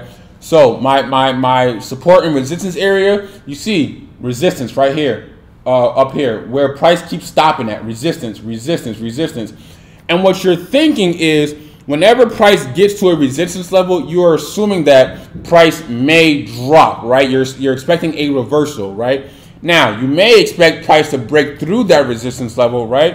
And if you do, that area will now become support, right? But these areas are not random areas. These are areas where if price gets there, it's going to react. It's going to either reverse or it's going to either break through but something is going to happen, right? Over here, price is just going straight up, straight up, straight up. So you can tell like some of these areas are not really real life major areas. I have a line right here because price stopped here, stopped here, stopped here, even over here, stop, support, right? Stopped and then finally broke through.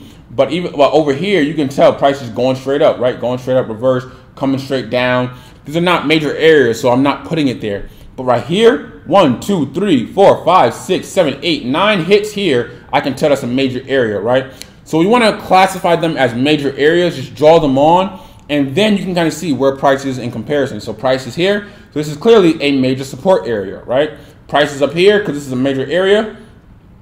Major resistance area because it's below. But when it was up here, this is a major support area because it was below until it finally broke through, right? So that is support and resistance in a nutshell, um, also known as key areas.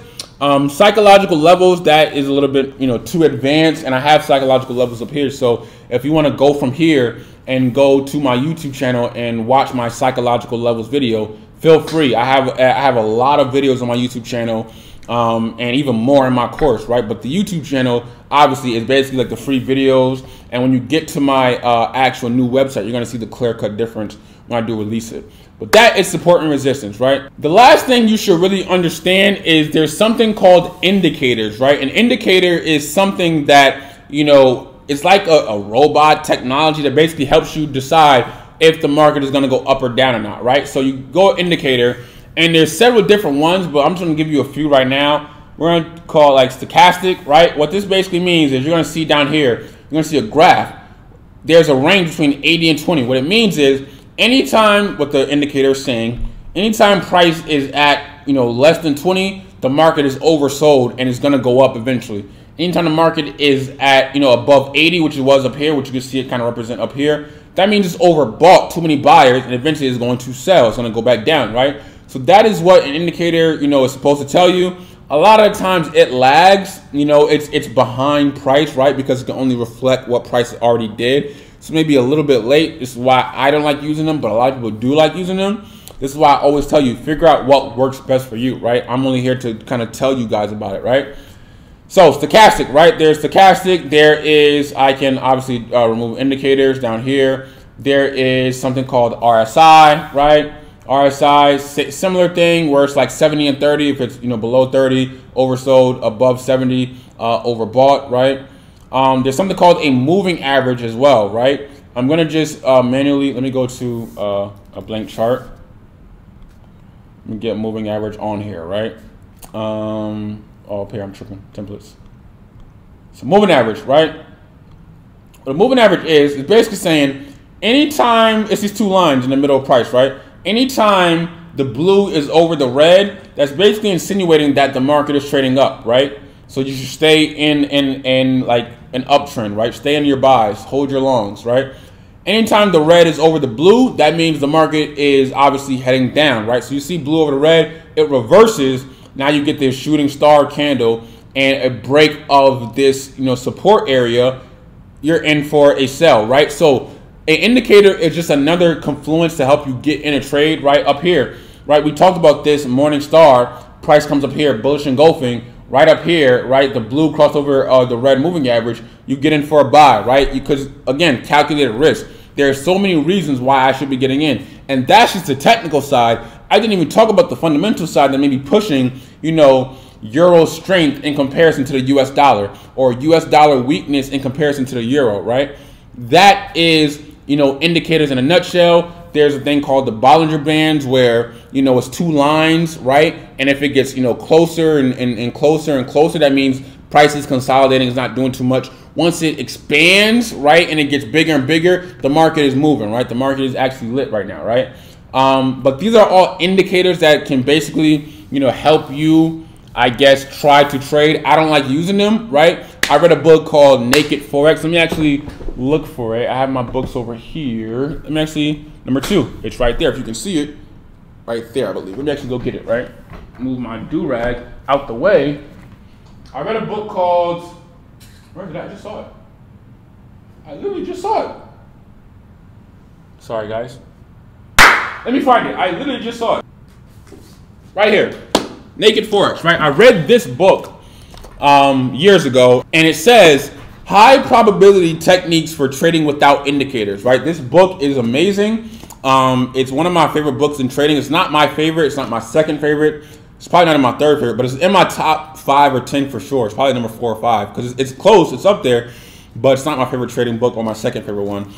But this is the reason, this is probably the sole reason why I don't trade with indicators because it, it tells you how much they lag. But for every negative thing I, I can, you know, read and hear about an indicator, I, you know, see people and I can find a book that gives you, you know, all the positive things in the world about an indicator, right? I, I can find just as much good people, you know, loving it but I personally don't use them. But feel free to test it out and see it for yourself. So guys, that really wraps up the technical analysis section, right? We went over, you know, everything I could possibly think of, right? Support and resistance, trend lines, candlestick patterns, indicators, know, everything I could think of. Now we're on to the next section. So we're gonna talk about a broker, right? What is a broker, right? A broker is basically the middleman, right? It's the person who, or the company or, or, the, or the firm who basically executes your trades, right? You want to buy Euro USD, you got to do it on a platform, right? You can't just do it out of nowhere. You got to you know join a, a have an actual brokerage firm, right? Just like with the uh, Bank of America, right? You got to store your money somewhere. You store it with the bank, right?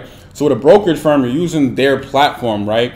And there's two different type of brokers you can use, right? One is a, a dealing desk broker, which is basically a, a, market maker, and one is a no dealing desk broker, right? Which basically means um, ECN, right? Electronic Communications Network, right?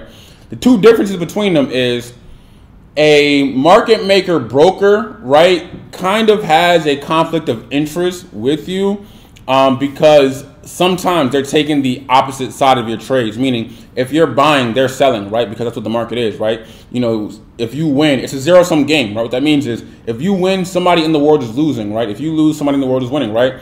And what market makers do is they try to match you up with somebody who's selling the pair you're buying or buying the pair you're selling. If they can't find that person right at the split second that you're trying to get in or the, the two second pause, they will take the opposite side of your trade, right? And that kind of sucks because that means basically if you win, they lose. They just lost money and they don't want to lose, right? And the market makers are essentially making the market, right? It's a representation of what the real market is saying. You're not actually trading the real market. It's a market maker. They make the market, right? Now there's some benefits of, you know, market makers, right? Like like a lot of the time the spread is fixed and we'll talk about spread a little bit later on, which is basically your your cost of entry um, of trading. But um, that is a dealing desk brokerage, right? A market maker brokerage, right? And I want you guys just to know the differences, right? An ECN uh, brokerage, right? There's no conflict of interest, right? The broker makes money off the spread, right? So they're not, you know, taking the opposite side of your trades, right? And your trades are getting routed to a liquidity provider, right? It's getting routed to like these banks and these institutions out there in the world, and it's not you know, being made up by a brokerage, right? Obviously, as you can tell, I tend to be more so on the side of like ECN brokers. I don't really like market maker brokers, but there are some benefits to market making brokers. At the end of the day, even though sometimes there may be a conflict of interest, at, at, the end of the day, their first objective is to match you up with somebody else in the world, right? So if they do that, they don't take the opposite side of your trade, right? Um, and another thing is that they're not trying to just get you to lose money, right? Because if they do, you're going to leave their brokerage firm and just be gone, right? Their ideal client is somebody who makes money, loses a little bit of money, makes a little bit of money, loses a little bit of money, and stays long term and brings you know their people on so more people can use their brokerage firm, as opposed to somebody who gets in, deposits some money, and then loses, and then in two weeks they want a new broker. That, that does nothing to help that market maker's platform. But at the end of the day, a lot of people, even myself, like ECN brokers, just to steer clear of that whole conflict of interest. I'm okay with the spread, you know, being a var- like varying, meaning one day the spread of Euro USD can be six, the next day it can be 13. And what that means is if I go to the iPad for a second, I'm gonna put my password in. There we go. Um, what that means is, and we gotta talk about lot sizes too, actually. So let's talk about lot sizes and spread, right? So what it is is it basically means the spread is let's say Euro USD. You will see on a brokerage, you will see like Euro USD and it may say six under. That's the spread. What that means is whatever your lot size is, which is basically you know the currency units, basically how much money you're putting up, basically, which we'll talk about right after this. You multiply that, and that's how much money you are automatically losing out the gate, right? No matter what, right? So let me uh, show you guys an example really quick. So your lot size, right? Your lot size, I want you guys to understand as well, right? Lot size does not mean you're putting up money, right? So with investing, you got to put up money, right? You got to put up money to buy the shares. In the market, you are not putting up. And my computer's about to, uh, my iPad and computer's about to die. Let me actually uh, charge really quick. So with a lot size, you are are not putting up money, right? With investing, you got to put up money, right, to buy the shares. With trading in the forex market, you're not putting up a thousand dollars, right? You're not just putting that in just hoping that goes up or down. No, you're putting up something called the lot size. So you're essentially not putting up any money, right? When a trade starts, right, they're asking you what do you want your lot size to be. It's basically, you know, currency units, right? So let's just say, you know, you want your lot size to be, you know, 1.00, right? So what that means is if price goes to 1.30000 to 1.30100, you made $100, right? Because every time it goes up, one, right? So if I can, oh, I wish I could show you on a chart. Let me just do it this way as well. 1.30000. Every time this one, right, this goes up one, right? 1.30001 that is a dollar Could you use this lot size, right? 1.30002, that is $2. All the way up to 1.30100, you are now up $100. That is how you make money in the market, right? So your lot size determines how fast you make money, right? Because if price goes from, you know, 1.30 uh, 000 to 1.30 100 and you use a 0.10 lot size, which is basically 10 cents, you are only up $10, right? You're only up $10. Even though the market moved from here to here, you're only up $10, right? Because each time this moved up to one, 10 cents, two, 10 cents, three, 10 cents. At the end, when it gets to one point, you know, 30010, you're up a dollar. All the way to this, you're now up $10, right? So your lot size determines how much money you make, how fast you make your money, how slow you make your money, how fast, you know, you blow your account, how fast you flip your account, whatever it may be, right? Now, if the spread is 6 and the lot size you use is 1.00, which is called a standard, right? It's called a standard lot. You multiply this. 1.00 times 6 equals $6. What that means is the minute you get in a trade, you will automatically be losing $6, right? That is your drawdown, right? So, so that is your initial uh, loss, right? So you click, boom, enter trade. You enter. No matter what's going on, the minute you get in the trade, you will see you're automatically losing six dollars. It's floating, right? You're in a floating profit, floating loss, meaning it goes from negative six to negative seven to maybe break even, like zero dollars to you know positive ten dollars. But initially, you will uh, be losing six dollars. So that means what that means is if on this trade you make let's say, I don't know, a thousand dollars, right? You will see in your trading account that you didn't actually make a thousand dollars. You actually made nine hundred and ninety-four dollars, right? Because that six dollars went to the broker. That's their fee, right, for ECN network, right? That is their their fee. They take the money off the spread, which I don't mind at all. It's not a big deal, especially especially when you make a thousand dollars and you lose, you know, six. You didn't really lose it. You just gave a fee, right? Because you can't just trade for no reason, right? You got to give them a fee, right? So that's their fee, right? You make ten thousand dollars, and let's just say the fee ends up being thirty dollars because you end up using a super high lot size. That just means you made nine thousand nine hundred and seventy, right? But that also means if you lost, let's say off this uh, negative six, if you lost two hundred dollars you didn't lose $200. You actually lost $206, right? So that's the lot size. That's the spread, right? So that uh, goes back into, you know, how uh, they make their money as well. Um, so I want you guys to kind of do your research on, you know, ECNs versus market maker and decide what works best for you, right? And when you're doing this, you know, there's a thing called, you know, regulation versus unregulated, right? You know, each country, you know, governs and has an authority that looks over you know, certain brokerages and regulates them or unregulates them, right? A regulated broker basically means they follow all the rules within the country. They're good, they're regulated, they're not, they can't just take your money and run. They're not necessarily uh, a scam. Some regulated brokers can be a scam, but if they get caught, then they're automatically banned, right? But for the most part, regulated brokers are, are good. They, they abide by all the rules. They pay all the fees. They do what they're supposed to do. You email them, they'll email you back. You want to jump on a phone call, they will call you. These are regulated brokers, right? And all in all, your money is safe. It is trusted. So if you, let's say you you make some money, you can withdraw anytime you want. If the company goes bankrupt or something happens where the company blows up, right? You still have your money no matter what. An unregulated broker will give you access to more pairs, right? Because regulated pairs, understand that means they're regulated, right? So the United States, right?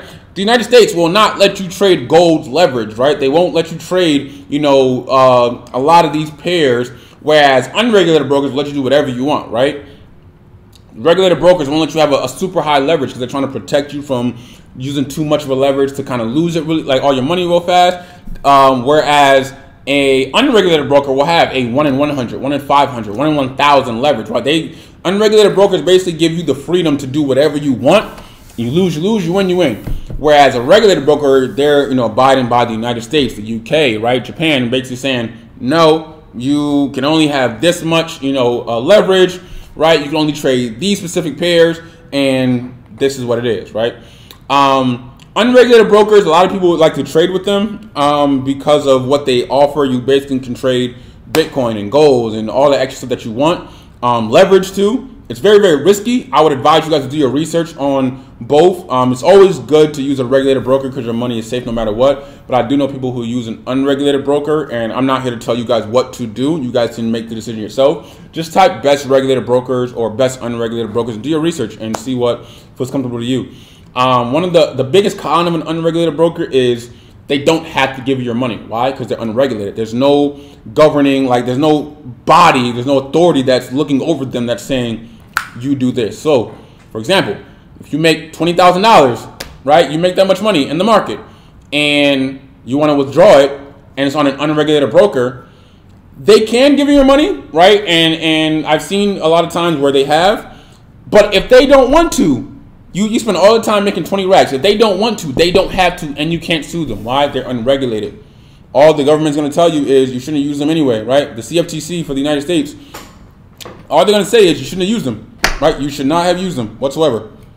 But an un, uh, not an unregulated, excuse me, a regulated broker can't do that. No matter how much money you make, they got to give it to you. Now we are rounding off to finish in this video. We got a few more topics to to cover. And one thing you guys should understand is risk to reward ratio. is very, very important, right? We are in the risk management section now, right? Risk to reward ratio. What that means is how much, you know, are you risking versus how much like you're going to get back as a reward, right? So an example would be one to one, right? Which basically means with this trade, I'll either lose $100 or make $100, right? One to two means either I will lose $100 or make $200, right? Or one to two could be, you know, I, I can lose $300, but I would make $600, right? You're always doubling your trade, doubling your investment. One to three obviously means, let's just say I can, with this trade, I can lose $50, but I can make 150, right? That's that's times three, right? Or I could lose a thousand right? Just giving you guys some examples, or make 3,000, right?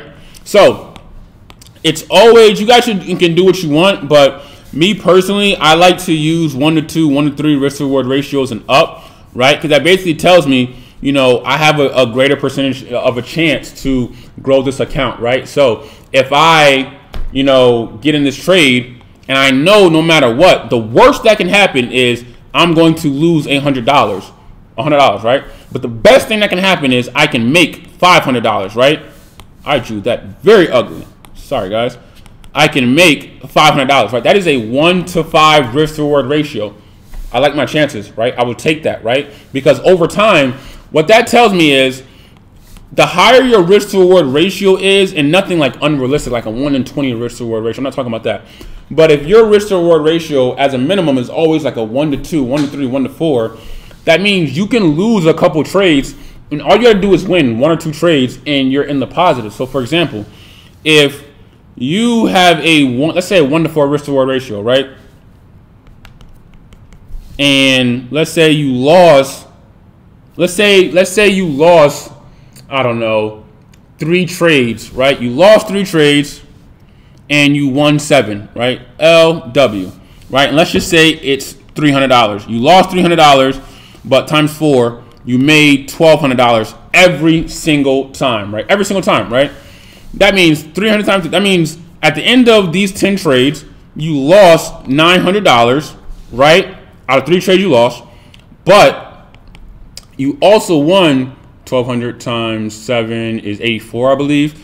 You also won $8,400 for that week. So at the end of that week, you made a profit of $7,500. That is clearly an example. It, it varies depending on what you're doing because obviously this could be 100, this could be 400, depending on what one to four risk reward ratio. We're just using these numbers, right? So you made $7,500 losing three times, winning seven times. Now let's flip it, right? Let's flip it. Let's say you only won three times that week, but you lost seven trades. You lost seven trades that week, but they were all one to four risk to reward ratio, right? With the same exact, you know, setup, right? Not setup, um, excuse me, the same exact, you know, amount of money, same lot size you're putting up, right? So you won three, you lost seven, right? And mind you, going back to 300, losing, and the gain is 1200, right? So you lost seven times, right? That whole week, it may seem bad. Oh, I lost seven times. I only won, you know, three out of 10 means 30%. I only won 30% of the time, but guess what, right? Seven times 300 is you lost 2100 for the entire week. Out of the three trades you won, three times 1200, you made $3,600 that week, which gives you a profit at the end of the week of $1,500 in profit. And you only won three trades. So that is risk to reward ratio. That is why it is always good to use a higher risk to reward ratio and keep that as a minimum and then always, you know, use the higher ones if they're available. But uh, if you use a one to one risk to reward ratio, that means you have to win half the time just to break even. And you got to win you know, eight times out of 10 or seven out of 10 or nine out of 10 to get a profit with a one to one risk to reward ratio. I make 200, I lose 200. I make 400, I lose 400, right? If we can go to the actual charts for a second, right? We're looking at this, right? And what it means is basically if you have a short position, let's just say you, let's delete this. You got a short position and you entered right here, right? What it means is if you put your stop loss right here and your take profit down here, you see this is a 1 to 2.6 risk reward ratio. That means if I whatever I lose, multiply that by 2.6, and that's the reward I'll get. When you keep yourself to this kind of standard over and over again, right? In my opinion, right? Obviously, the facts show that if it's this same risk reward ratio, you don't have to win nine out of ten trades, right? Because it offsets it, right? One to three every single time, right? Even one to four, one to five. But if it's one to one, see how small it is? You got to make sure, you got to guarantee that you win this trade. Because if you lose it, that's one. You lose again, that's two. You win, 2 1. You win again, 2 2. You're bro- you broke even, right? You didn't make any money or lose any money, you broke even, right? So you got to be mindful when it comes to your risk to reward ratio and setting it every single time. So one of the last few things I want to talk to you guys about is working a nine to five while trading, right? Um, I want you guys to to really, really, really understand that you know, just balance out your time, right? You're to have to study a lot. I know coming into this market, may seem like very, very amazing and very, very, you know, good and, and, and it's so exciting. You have to study. Like, you, you can't just study for two weeks and just jump right in, especially if you have a job, right? Luckily for me, before I started babysitting um, and before I got to college, remember, I had, a, I had a whole summer to study BabyPips. And then went back to college and was balancing, you know, college out with studying, right? and then after college had a whole summer studying again right? You know christmas break studying again right? So just make sure you know you, you study as much as you possibly can. Um, but yes i don't think you should leave your nine to five to just start trading. I think you need to have your nine to five for as long as it may take. One year two year three year four year maybe take five years maybe take seven years before you actually start trading for real. I've seen a lot of traders who in their first year they were good their first six months they were good they quit their job they were good i've seen a lot of traders who you know were still working their job and trading in year eight, and then year eight it popped off for them, right? It all depends on who you are, your current situation, your psychology in the market. Do you experience, you know, do you have like greed? Do you revenge trade where you lose a trade and you jump back in the market trying to, you know, get back at the market as if you're gonna, you know, hurt it? Do you experience FOMO, fear of missing out? Like you're, you're fearful because your friends are making money with this uh, pair, so you want to jump in automatically. Like all depends on who you are. You got kids, you got responsibility. What do you have going on, right? that all plays into to factor how long you know it may take for you to you know get good at this thing. And I want you guys to also understand as well, like there's a disclaimer as well for like myself, right? Trading in the market is not easy, right? I, I just did a whole two hour video breaking down the market as best as I possibly could to you guys and as simply as I can. But it's not easy. It's easy to study. It's not as easy to read financial reports and fundamental analysis, but it's it's very easy to like understand this market. But to actually trade it, it's a different type of, of level you got to get to, right? It, it, and that all comes from your psychology, which you know you will you know grow and evolve over time because it gets scary when you like you can start a demo account right now and start trading. It gets scary when you're on a live account, right? It gets very, very scary when you're on a live account and it's real money at risk, right? So I want you guys to understand it is easy to learn as long as you give it the appropriate time, you give it the respect, and you take, like I said, you, you study. Um, but it's not necessarily easy to do. It takes time, it takes skill, it takes a different type of mentality. And I hope you guys, you know, have that in your own personal trading. Um, hope you guys can learn from somebody dope, whether it's me or me or nah, playing with you. Like whether it's like of these books over here that I have over there, or you know somebody else out there. I hope you guys can learn from somebody dope.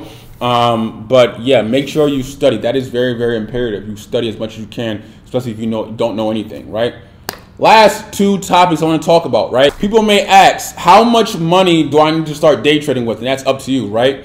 Um, my, if you guys want my opinion, this is purely my opinion. This is not like advice. I'm telling you to do it. This is my opinion. You know, I think you should start a demo account. You know, after you do the whole demo account, you know, with the track record and stuff for yourself, I think you should start with like a hundred dollars or 150, just a small, small account, just to get on a live account and see how anxious you get when you actually click, click buy or sell with money you worked for, right? Hard money that you actually earned and worked for, and you actually got to click buy or sell, buy or sell. Just see how it is. Once you can control your emotions on a smaller account, then when a larger account comes, you're, you're a little bit better. But that's my opinion. But you don't need $10,000 or $20,000 to, to start, right? Eventually, over time, it, would be nice if you had $500 in your account, a thousand, two thousand. Mind you, the more money you have, the more money you're allowed to trade with, the more money you are potentially able to make, right? Because you have more breathing room, the leverage is a little bit higher, you know what you're doing, right? Um, the market has time to fluctuate a little bit. But um, I do think, like a lot of people, especially if they're coming into this market after a demo account, they should start with a, a super low account just so they can see and get the feel of, of how it is to trade because it is kind of it, it, get it get dark in them streets, man. It get dark in them trading streets when it's like it's your actual real money you're trading, right? The second thing I want to talk about is why do you want to start trading, right? And that seems very, very obvious, but I want you guys to really think long and hard on why you want to, you know, embark on this journey because this journey is a long one. This journey is not easy. This journey is a difficult one. This journey uh, is fun. It's up and down. Um, it's a journey like no other. There's no other, you know, job out there in the world that's like this, right? Where you know, it's up and down. It's like high pace like this, or it can be low pace if you're a swing trader, which I got to talk about. I even forgot about. I got to talk about the different type of traders you are. Um, but I want you to figure out why you want to start trading. Right? For me, I was broke in college. I wanted to start investing and trading. The stock market had that PDT rule. Forex was an easier entry for me than options in real estate. Let me do Forex. And I ended up falling in love with it and kept it ever since. Now I'm obviously you know dabbling into stocks and real estate as well, but I fell in love with Forex, right? Figure out why you want to start trading. If you, obviously we all want to make money, but if you think you're going to come into this market and make money within the first four months, when I mean make money, I don't mean like you know make a few hundred dollars here and there. I mean like consistently make money and make thirty thousand dollars in your first two three months of trading. It's not like that, man. It's not like that. Like over time, can that happen? Yes. Is that is that a possibility? Yes. But I want you guys to know and understand the truth that like a lot of day traders fail, right? 90% of day traders who come into this market fail and 10% only make it. And while that is a, you know, saddening statistic and it's like kind of like, you know, disheartening, on the other side, I can argue it's not, right? Because what if, like there there's probably a million or so aspiring traders in the world. I got 300,000 subscribers on my YouTube channel alone, right? 306, right? Alone. So there's there's more than, you know, there's millions of traders in the world. 10% of that is a good amount that can be successful, right? So let's just say there's a million traders in the world who want to learn how to trade. That means 100,000 are successful. That is a good statistic. Whether people believe it or not, that's a good statistic. That's better than the NBA. The NBA is only 450 players in the NBA, right? You have less than a 0.0.0.000000001, half of that, what I just said just there, cent chance of making the NBA. It's only 450 players out of 6 billion people in the world right? So nobody talks about the statistics to getting into professional sports. That's all like, go do it, go do it, go do it, right? When you like you basically have no chance to be in the NBA or the NFL, right? We all have a chance, but it's so hard. You got to be an insane athlete. You got to be working since you're two years old. You have a better chance at being a trader than being in the NBA based off the statistics, right? But nobody wants to talk about that.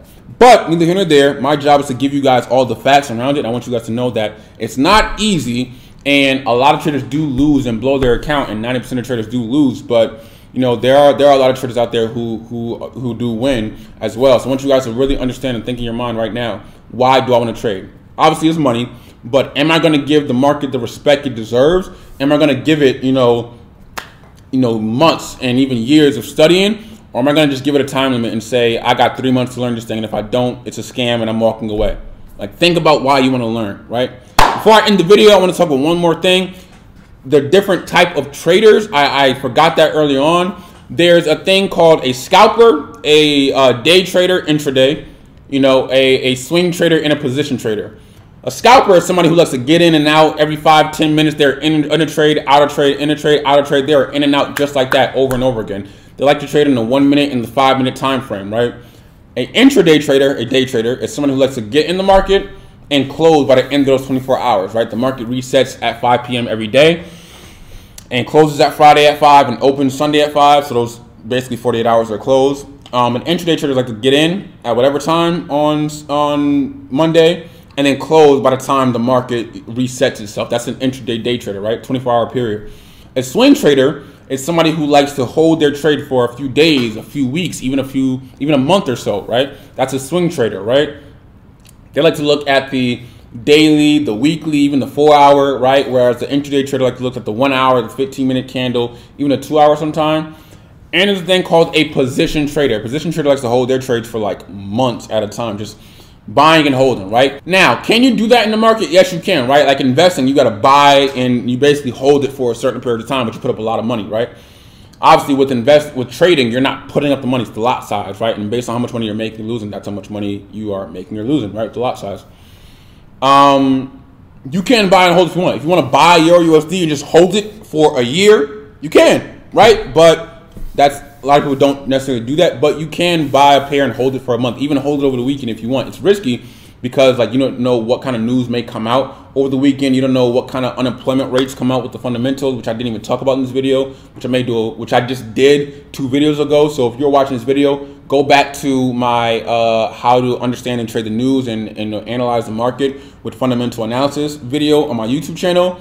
Um, it should be one of the most recent ones. Um, I think I did it like two or three videos ago, maybe four. Um, neither here nor there. What I'm saying to you guys is if you're holding it for a month, you're basically taking the risk that the market may have some news that may fluctuate the, you know, the price a little bit, but you are believing that no matter what, it's going to end way up here or way down here if you're buying or selling by the end of the month, by the end of two months. And you can do that. That's a position trader. Overall, this is the longest video I have done, and I hope you guys appreciate it. I love you guys, and I hope it was very, very beneficial for those who have never seen me in action for the first time. I hope you guys like me, and if you are already here at this point, remember what I said earlier on in the video. If I gave you value, any type of value, I don't care if it's 1%, you made a promise to me that you would subscribe and like the video. So I would greatly, greatly, greatly appreciate it. For the hard work I've done today, is if you can subscribe and like the video. And um, I would greatly, greatly, greatly appreciate that. Um, other than that, uh, you guys, you guys want more videos like that, but not just that, because that's obviously you know basic and beginners. More advanced videos. Go to www.theswagacademy.com. There's a timer on there because with the website you see right now, that website is flipped, right? Obviously, if you guys are watching this video and it's like you look at the date and it's like August or December, doesn't apply. But if it is still July, soon enough, the website is going to be completely flipped, like completely flipped all the way around. It's going to be a, the most amazing website in this industry, the most amazing website that you've ever seen that is, you know, relating within the Forex market, right?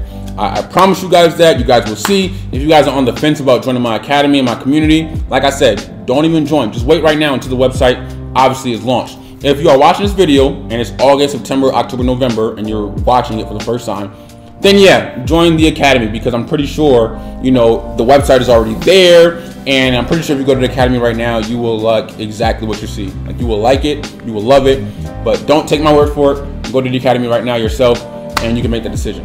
Otherwise, my YouTube channel is here, and I will continue to dump out you know more free and basic videos. And um, I love you guys. Thank you guys so much for watching. And as always, gang.